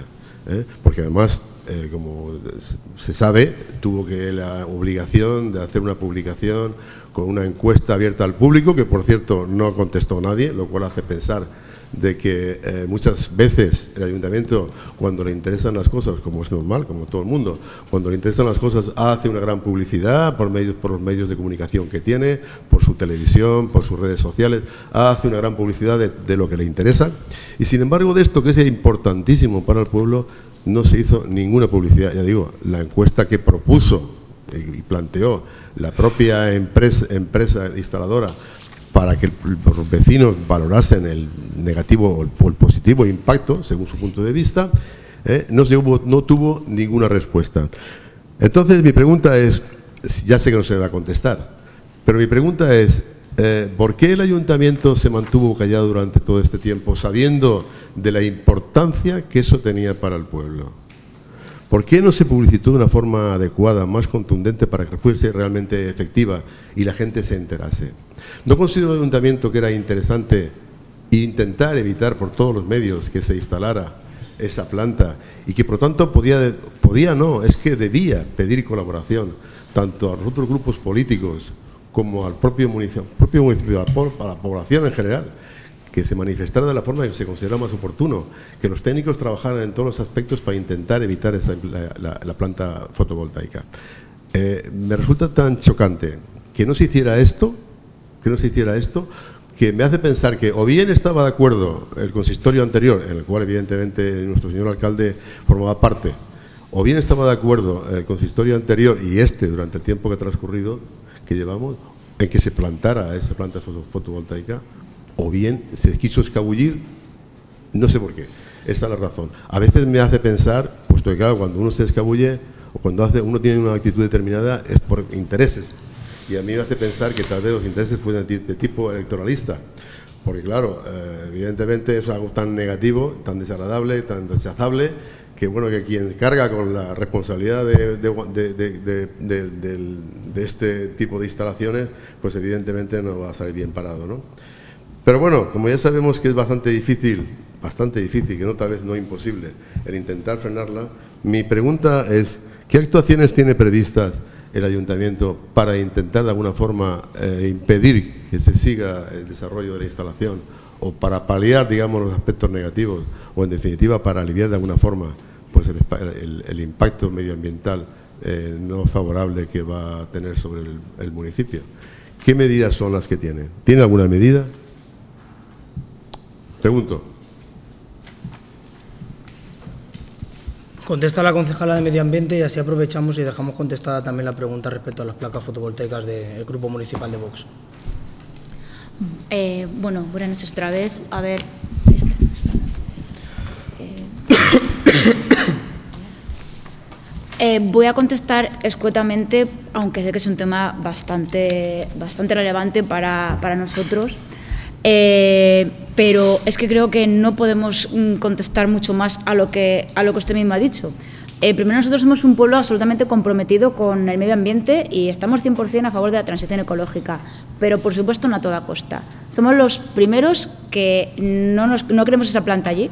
Eh, no nos gustaría mm, que hubiese sido otra ubicación exactamente igual que, que para todos, pero el problema es que lo ha dicho, esta ley nos viene impuesta por Consellería, nosotros hemos seguido todos los trámites legales, ¿vale? Esta ley que nos que por el tema, por el tipo de, por la tipología de suelo, eh, no tenemos más remedio que aceptar que esta planta está ahí instalada y eh, hemos, hemos actuado solamente tal y como nos marca la ley, única y exclusivamente. Entendemos el impacto que pueda causar eh, paisajísticamente.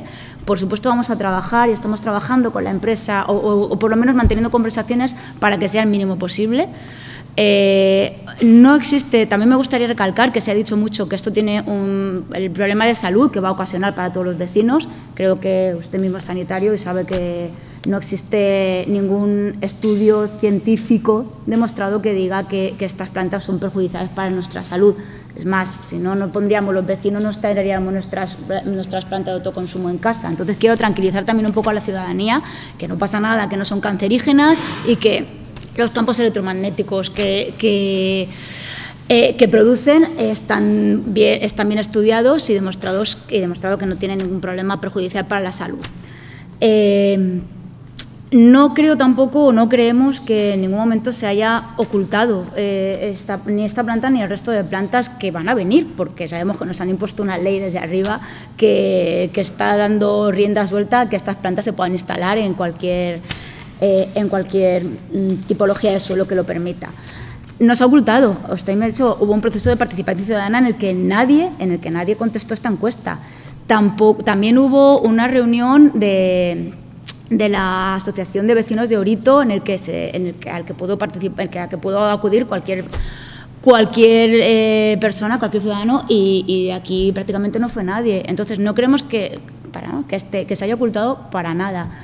Eh, todas las eh, no se han podido realizar alegaciones porque técnicamente el proyecto no permite esas alegaciones porque cumple la, la ley no tenemos, o sea, mm, ya digo, no estamos, nosotros somos los primeros que no queremos que se implanten ahí, pero es que no podemos hacer otra cosa. Mm, vamos a intentar que el impacto ambiental sea el menor posible, porque está claro que está, está a, pocos metros del núcleo urbano.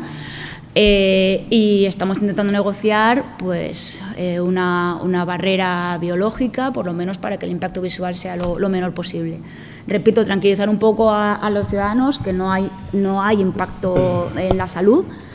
Y, tampoco en la, en, la flora, en la flora y fauna. También creo, creo, que es, creo que es muy importante que sepan que estamos hablando de una parcela privada, que estamos hablando de nuestro, de nuestro territorio, de, de, nuestro suelo, pero es que en este caso este suelo era era una parcela privada que nosotros no podemos, ha vendido o, ha, alquilado, en este caso ha vendido a la empresa. Nosotros ahí no podemos interferir tampoco.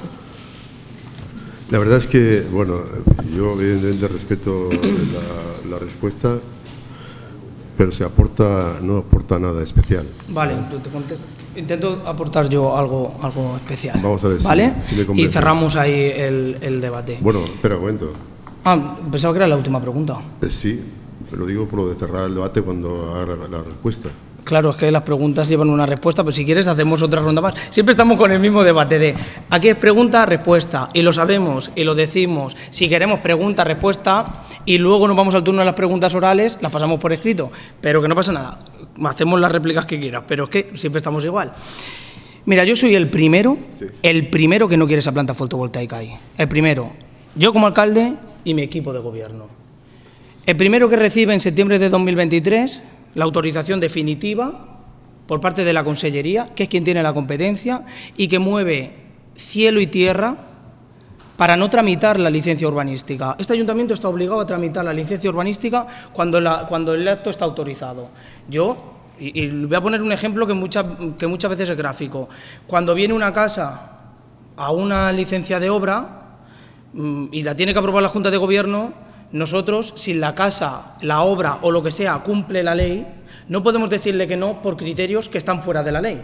Es decir, por estética, es decir, cualquier otro criterio. Entonces, nosotros teníamos esa y tres más. Y lo dijimos y se explicó, se, se comentó además que Monforte 1, Monforte 2, El Secano y Camino del Río, que son las cuatro que se aprobaron, se aprueban en el momento en el que el ayuntamiento puede llevar a trámite el catálogo de paisaje. Y que desde Secretaría se nos dice, si en el catálogo de paisaje se hace la... De hecho, lo podéis ver que son las mismas semanas. Si se hace la suspensión de licencias, que no podemos hacer, porque Consellería le enviamos el catálogo de paisaje en febrero y no nos lo ha hecho la evaluación ambiental y, por tanto, a criterio de la Secretaría no se podían hacer todavía la suspensión de licencias. Ahora no se puede porque se han prohibido desde julio aquí la suspensión de licencias. Nosotros, a partir de ahí, teníamos, tenía el ayuntamiento, no nosotros, que responder con una responsabilidad patrimonial frente a quien tenía un derecho adquirido y nosotros no le habíamos otorgado la licencia urbanística. Yo creo que sí que comete un error el ayuntamiento en no comunicarlo fehacientemente y más eh, específicamente ese proyecto. Yo sí lo creo, ¿eh? y creo que aquí tenemos que asumir mm, las culpas que son pertinentes se hicieron reuniones y no por el hecho de ser electoralistas o no, se convocaron las reuniones a finales de marzo de 2023. Creo que no hay nada que pueda ser más electoralista que ese momento. No las convoca el ayuntamiento, que venía convocándolas desde 2022. Las hace una asociación, el ayuntamiento se suma a dar las explicaciones que fuera, va la alcaldesa, voy yo como concejal, viene el alcalde de agosto, damos la cara, se hablan de todos los proyectos y, sinceramente, creo que el, gran error, me vas a perdonar Rafael que termine, es que el ayuntamiento no avisara a los vecinos de que había llegado en septiembre de 2023 y que no le íbamos a comer, porque no podíamos hacer otra cosa. Porque yo he llamado al director general de urbanismo y le he dicho, nosotros, yo, voy, yo tengo que dar la, licencia urbanística, porque lo contrario, según la Secretaría, es prevaricar. Y es que lo es, porque no tengo un argumento técnico ni jurídico para saltarme la ley. Ahí el ayuntamiento intentó resolver un problema que es de todos, quizá de manera aislada, quizá de manera sin comunicárselo a los vecinos. Pues sí, creo que fue un error. A la, vista está, porque al final ha llegado el, resultado que era inevitable y le repercute al ayuntamiento porque parece que tiene un interés, que este ayuntamiento no tiene ningún interés que no sea el de que eso no esté ahí. Yo hablé con el director general de urbanismo y me dijo, lo único que podéis hacer es condicionar vuestra licencia a tener mm, eh, mayor barrera eh, visual. Y yo le dije, mayor barrera visual moviendo placas, es decir, yo puedo quitar dos hileras de placas que están más cerca de la casa, no, porque si se mueve una placa es un modificado sustancial del proyecto que se lleva tramitando desde 2021. Entonces, ¿qué puedo hacer? Puedo negociar con la empresa aumentar, ahí van 170 olivos, aumentar olivos que van en 7 por 7, pues lo pasamos a 5 por 5. No, y no lo juntamos más porque los criterios mm, medioambientales hacen que los, que los olivos no crezcan. Que no me pongas un plantín, que me traigas un olivo plantado. Es que esos son los recursos que nos quedan. Y no lo digo yo, es que lo dice la ley. Que el ayuntamiento, y lo expliqué el otro día en la, en la rueda de prensa, llama a los vecinos a presentar esas alegaciones y las va a elevar a Consellería. Y en lo político lo hemos, lo hemos eh, hecho y hemos llamado y hemos pedido que se pare. Que se pare, pero que se pare no la licencia urbanística. Porque si el ayuntamiento quita la licencia urbanística, primero tiene que responder con una responsabilidad patrimonial ante el juzgado, ante esa empresa. Y segundo, cuando se resuelva ese, ese juicio o ese pleito, tiene que volver a darla. Porque es el último acto y es un acto arreglado porque hay una autorización autonómica. Entonces, y nosotros se lo hemos explicado a la gente de Consellería, que lo retiren. Que lo retiren. Yo sé lo que es la responsabilidad patrimonial que va a pedir la empresa, porque lo han calculado los técnicos, y son 3.800.000 euros de núcleo cesante. Yo no puedo coger y quitar esa licencia urbanística y condenar a mi ayuntamiento a eso. Y no puedo. Y sé que electoralmente, me vais a hablar de electoralismo, sé que electoralmente a mí no me interesa que esté esa placa ahí, pero es que a mí no me interesa como vecino, es que no quiero, es que no he querido nunca. Pero es que es así. Sí lo hay y, puedes ver otros ayuntamientos, otros municipios que tienen pegadas a las casas las plantas fotovoltaicas y ahí las tienes y mira, te lo pasamos y lo ves. No voy a decir los nombres de los municipios porque crear una guerra entre sus oposiciones y sus gobiernos de allí. Pero ahí tienen las fotos. Perdona, no. Y termino, ¿eh? Y termino. Yo voy a ser el primero que si tiene que ir a Valencia con los vecinos voy a ir y sé que vamos a ir todos de las manos. Y el primero que ha dicho que son 3.800.000 para la comunidad valenciana, para ese presupuesto y que además no hace falta ni indemnizarlo. Si le damos las garantías a la empresa de que moviéndonos de sitio le mantenemos el proyecto, es que el ayuntamiento no podía presentar otro tipo de alegaciones. ¿Qué alegaciones presentamos? Hoy hemos presentado la octava alegación a una planta fotovoltaica que sigue adelante. La octava sobre el mismo tema, el tendido eléctrico y la alta tensión que cruza el pueblo. Y Consellería le dice a la empresa, resuelve la alegación y la, y la empresa dice, la desestimo. Es que es falso decirle a la gente que si se hubiera alegado, se hubiera cambiado. Porque, sí, lo siento, porque los de Pozo Blanco, que venían aquí también, Monforte 1, Monforte 2, alegaron los vecinos, alegamos nosotros, y es un insulto a su inteligencia decirle que esas alegaciones no valían y las, de los del Secano hubieran valido. No, no es eso. No, sí, sí que lo es. o por lo menos desde mi punto de vista lo es. que creo que se hizo mal el no explicarlo. Y tienes toda la razón, Rafael. O Rafael o, todos los que lo digáis. Pero que si nosotros hubiéramos querido y tanto interés tuviéramos en tramitar esta licencia urbanística, cuando llega la autorización en, en septiembre de 2023, pues se pasa por Junta de Gobierno y se le da la licencia. Pero la tenemos ahí parada hasta febrero, que nos dicen desde Secretaría, no podéis pararlo más, intentando buscar una solución. y me dicen lo mismo que me dicen hoy. Perdona, es que si me preguntas te tendré que responder, Rafa. yo, sé que no te... Perdona, ya, reiterativo. Ya, pero es que también me parecen reiterativas ciertas preguntas y no os interrumpo y os digo, las lleváis diciendo cuatro plenos. Al final es un, un poco... Es que yo mis preguntas reiterativas van intentando buscando una solución. Y yo te estoy intentando buscar la solución. o donde... explicación de por qué no se puede. Yo no, mira, yo no vengo aquí a justificarme. Si no justificación. Porque yo no vengo aquí a justificarme, porque si queréis, y, lo podemos hacer así, nos cambiamos los puestos y la planta va igual. Y hubierais estado otro gobernando y la planta va igual. Y esta mañana yo lo hablaba con el alcalde de Agost y decía, si estamos indefensos, Juanjo, ¿qué responsabilidad vas a tener tú? La misma que yo. Y no peca de ser de Izquierda Unida ni de ser del Partido Socialista, es un problema de todos. Mira, vamos a ver. Y es un, perdóname, y es un problema de todos. Nosotros la tuvimos parada, la tuvimos parada esperando una nueva ley. Y fue así. Y la nueva ley llegó en julio. Y la nueva ley lo que ha hecho es tumbarnos el 3%, que tú bien lo has dicho. Ahora nos vamos al 10%, es decir, que lo que ha dicho este pleno no vale para nada, pero no solo eso, nos vamos al 10% que solo computan las placas, solo se coge la placa lo que computa y además si se declaran de interés eh, autonómico no computan. Es decir, podemos meternos en un 40 si queremos, mientras les den la autorización. Entonces nosotros estamos indefensos aquí. Y lo que no podemos hacer es no dar una licencia urbanística y condenar al, pueblo de Monforte a pagar 3.800.000 más lo que quieran pedir. Que esto es solo el núcleo cesante de 30 años de explotación de esa planta fotovoltaica. Aquí no hay, aquí el ayuntamiento no promueve nada. Ahí hay una parcela privada que la compra una empresa, que un vecino de este pueblo la ha vendido para que una empresa la compre y que hacen una actividad legal como tantas otras actividades que se hacen que a mí no me parecen adecuadas, pero que cumplen la ley y que yo no voy a prevaricar. Y es que antes me levanto y me voy, y lo siento, pero no soy ese tipo de alcalde. Que por la gloria del alcalde, vamos a decir, se para, porque mis vecinos quieren que se paren de, verdad. Que yo sé que lo quieren, es que yo lo quiero. Es que ahí vive mi familia, es que yo lo quiero. Es que a mí me toca igual que, a los demás, pero creo que se ha planteado, y lo siento, y, y me voy a lo personal, porque ninguno me habéis llamado para preguntar qué se ha hecho, me lo preguntáis hoy en el Pleno y lleváis dos semanas comunicando cosas. A ver, a ver, perdón, perdón, Nadie me ha llamado preguntando cómo está esto, qué se ha hecho. Yo no digo, perdona, y ahora tú me, del secano, por ejemplo, que ahora tú me dirás, es que tú no me has llamado a mí. Si el secano fue hace una semana. Pues lleváis, llevamos una semana el lunes pasado, perdóname. Habéis hecho comunicados. lleva no. dos, años, dos años esperando que lo llamen. Sí, sí, y yo difiero, perdona, no. Al pueblo se le ha convocado y hay cosas que le interesan y cosas que no. ¿Cuáles son los canales oficiales? ¿O cuáles son los canales que consideramos adecuados?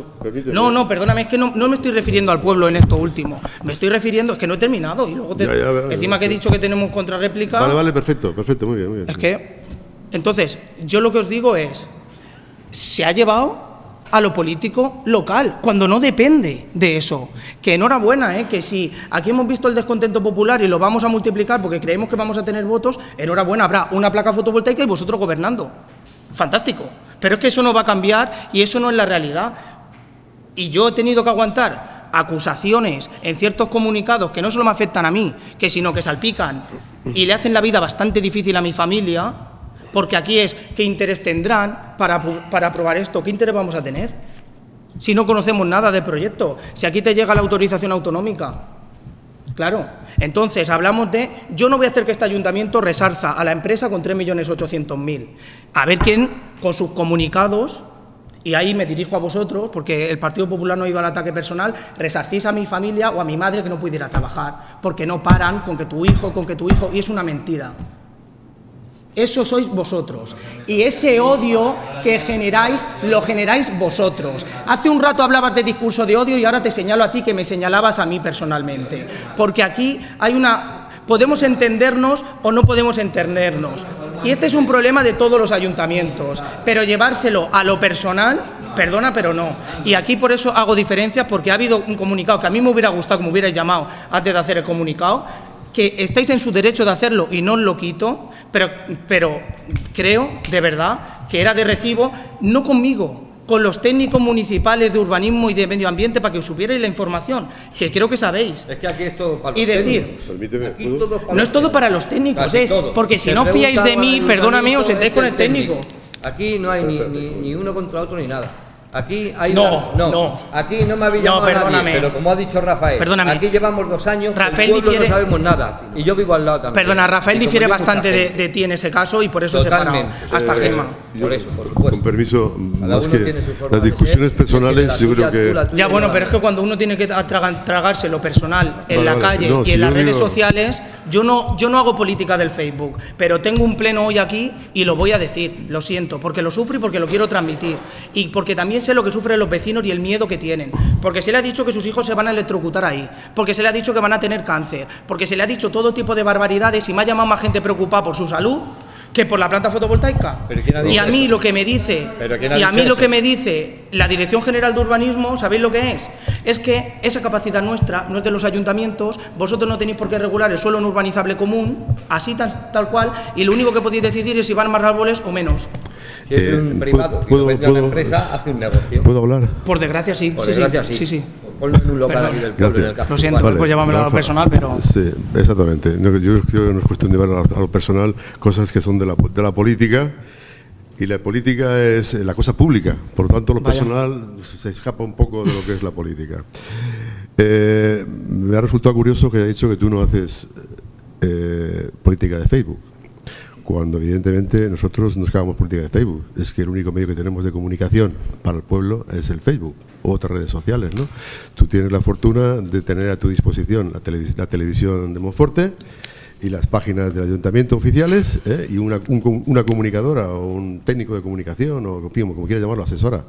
Que te, Personal de confianza que te, que te mantiene en activo a través de las redes sociales y otras cosas. O sea que evidentemente yo creo que el ayuntamiento representación de, de las concejalías y de la alcaldía hace muchísima más política de Facebook que podemos hacer nosotros. Eso una, evidentemente. Y la otra es que yo, evidentemente, todas estas razones que está dando ya las conozco. Es decir, conozco que tu, voluntad puede ser no tener eh, plantas fotovoltaicas, pero no se me ha contestado la pregunta. Y la pregunta es que, evidentemente, esto se ha ocultado por alguna razón, que yo, evidentemente, desconozco. Lo he preguntado, no tengo la esperanza que se me contestara, pero esto, evidentemente, se ha ocultado. Porque esto se sabía desde mayo del 2000, antes, ¿qué de mayo? De principios del 2022 por lo menos, ¿no? No, no cuando se ha dado la licencia, sino antes. Pero de verdad he contestado esa pregunta, Y en ese eh, tiempo, perdón, se hizo el, ayuntamiento hizo un informe favorable a la empresa hizo un informe favorable. Por tanto, antes de dar la licencia, eh, el ayuntamiento ya sabía que se iba a instalar aquello allí. Y entonces mi punto de vista es que, en lugar de, o bien por interés, yo no lo sé, yo no quiero evidentemente considerar nada, un interés que puede ser muy, muy legítimo, ¿no? muy municipal, pero por, ese interés o por resignación, es decir, o por simple resignación, de decir esto nos ha caído aquí y no hay más remedio que tragárselo pero como el pueblo se va a cabrear no vamos a decir nada, pero es una resignación. Y claro, yo no soy, yo evidentemente, pues ya conocéis que por mi profesión soy médico y evidentemente en mi profesión no nos podemos resignar, porque entonces la gente se moriría. Se, lucha, se lucha, se lucha, aunque parezca que, que, no se puede solucionar el problema. ¿no? Y en esto es lo que yo le achaco, digamos, cierta negligencia al ayuntamiento en que por no comunicarlo no pudo tener la colaboración que podía haber ofrecido las otras fuerzas políticas y sobre todo, sobre todo el municipio.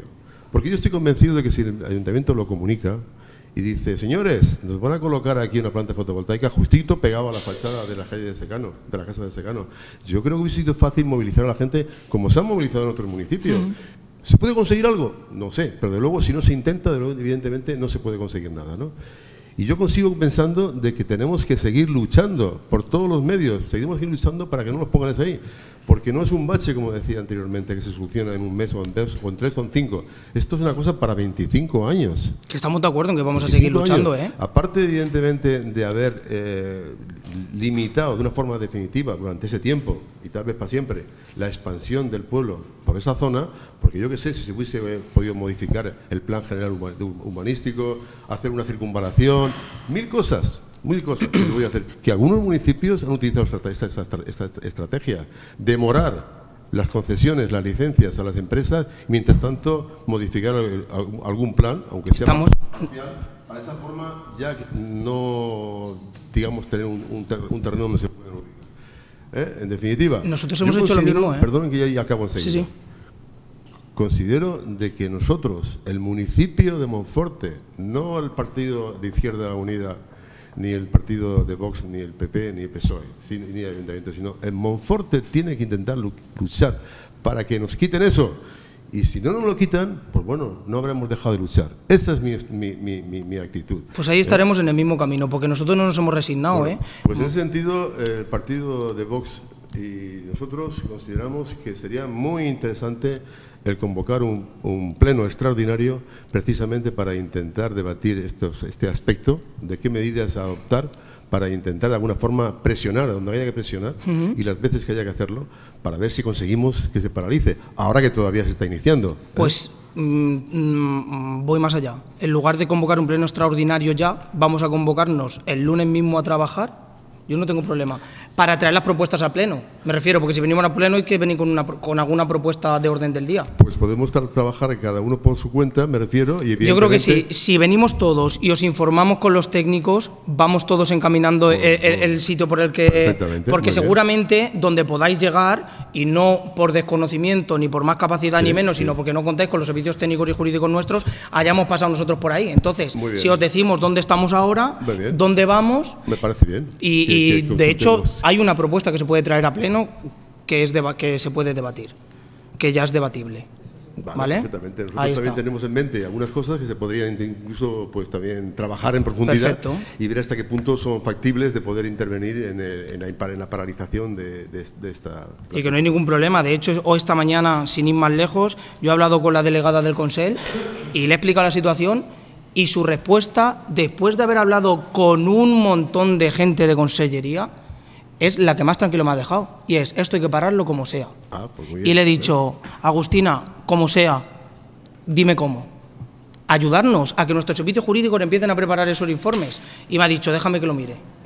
Entonces, confío. Yo de verdad confío. Y que esto es una solución, mm, es política, no es legal ni técnica, porque cumple toda la ley. Entonces tiene que ser una decisión de quien ha autorizado a desautorizar. Y si lo que hay que negociar es una reubicación, y si lo que hay que negociar es repartir las responsabilidades patrimoniales, si lo que hay que negociar es cualquier cosa de esas... sí, perdón. con respecto a la reubicación, eh, estas, estas, plantas solares fotovoltaicas se tienen como preferencia, deben tener como preferencia el utilizar eh, territorios degradados como por ejemplo vertederos. Y es que justo a 500 o 700 metros de donde está, en dirección hacia el río Vinalopó, hay un vertedero de, fin, de, de fábricas de mármol, ¿no? Sí, pero esa, esa zona está afectada por, la, por, el, Bueno, es un por el chorro, me refiero ya, pero está justo en el radio. Mirad, la parcela que se elige, porque uno lo va viendo ahora, es la que queda justo en medio de las protecciones de la iglesia y, de la, y del chorro. Y, y es algo que el dueño de la parcela y los promotores del proyecto habían estudiado desde el primer momento. Y no hay ningún informe, no hay un informe favorable de 2022. Lo que hay es un informe de compatibilidad urbanística que dice Sí, que es compatible. bueno. Ya, pero es que no se, no se puede decir que no. Porque digo favorable. pero digo Ya, que- pero que simple- decir es porque tasado. ya el ayuntamiento tenía pleno conocimiento en, ese, en ese tiempo de que se iba a instalar. Pero que vienen muchas más y además Vale. la solución que tengamos que darle a esta no puede ir separada de la solución que tenemos que exigir a Valencia. Valencia, al Ministerio, a mí me da igual y no hablo de colores políticos, Justo. de las siguientes. Porque de verdad que ya no han venido varias empresas y nos han dicho que se van a aprobar todas y que se van a aprobar todas a finales de año. El hacer hincapié. el ha- ¿Y están ya aprobadas por Consellería? No, no, no, están aprobadas, no se nos ha comunicado, pero ya les han dicho a ellos que es muy probable. No, no, no, que ya hay aprobadas, no, que las, que las empresas que están en contacto con Consellería nos han hecho saber que les van a aprobar porque ya, ya están resolviendo esas alegaciones y nosotros las hemos alegado todas. Esta empresa eh, va a poner dos, dos plantas más Sí. aquí, una en el, camino del, Sí. en el Camino del Río y otra en el Campet. ¿no? Y yo por eso también he hecho, me, me fui a buscar un poco la documentación con respecto al Camino del Río y por eso he hecho la, men- la mención de que está descatalogado como zona de interés arqueológico. ¿no? Esa parcela, ya te digo, tiene por en, su- en superficie pues, restos de, ce- de cerámica, pero es que la parcela de al lado también la tendrá y la de al lado también la tendrá porque esa zona era una zona es- especial. de Pues a ver, habrá que ver porque si se descataloga en 2008 será por algo, hay que buscar ese informe técnico para darle la vuelta y, y- Claro, a y esta- protegerlo otra vez. Exactamente. Porque un plan general lleva cuanto Es- menos informes técnicos por... Pues esa es la idea. Y tal vez la empresa, si se le deniega esta por razones de, de- protección arqueológica, pues igual a lo mejor no le interesa montar la otra, porque esto es la misma empresa. Sí, pero son proyectos independientes, en, en frente a Consellería me refiero. Ya, ya, ya. Si no me quiero decir que, se le, que le quiten la otra porque quiten una, Ya, ya, ya, no, sino no, que tal vez, desde el punto de vista de la inversión, a lo mejor no interesa tener nada más que una pequeña aquí, sino que interesa tener una más grande en otro sitio. ¿eh? Es decir, hay que intentar ver todos los procedimientos posibles para intentar parar esto. Así que Hemos analizado cada uno de los, de los informes de los, de los expedientes buscando aunque fuera un fallo en el procedimiento, es decir, que hicieran falta 25 días para este trámite y han sido 20. Eh, Hemos buscado todo y seguimos buscándolo y encima contamos con la colaboración de alcaldes y técnicos de otros ayuntamientos que también le van a echar otro vistazo para ver si a los nuestros se le han escapado. Es decir, que estamos en eso. Sí, eh, yo también estoy moviendo a través de Diputación por y tal para ver quién nos una información y que hagan lo posible para intentar, pues, en, en- en lo, que sea, Lo que orientarnos o si es posible influir para que se frene, influir. Eh, ¿Cómo he dicho que nos quedamos, que nos reunimos? Dice? Nos reunimos el lunes mismo. Nos reunimos el lunes con los... bien. Si os parece bien, levantamos la sesión y, y- y nos, Sí. reuni- y- y nos cerramos una fecha, una cita. Vale, vale, sí, perfecto. Pues si no hay más preguntas, se levanta, se levanta la sesión. Para miércoles, por ejemplo. Vale, venga, ahora hablamos. Vale, se levanta.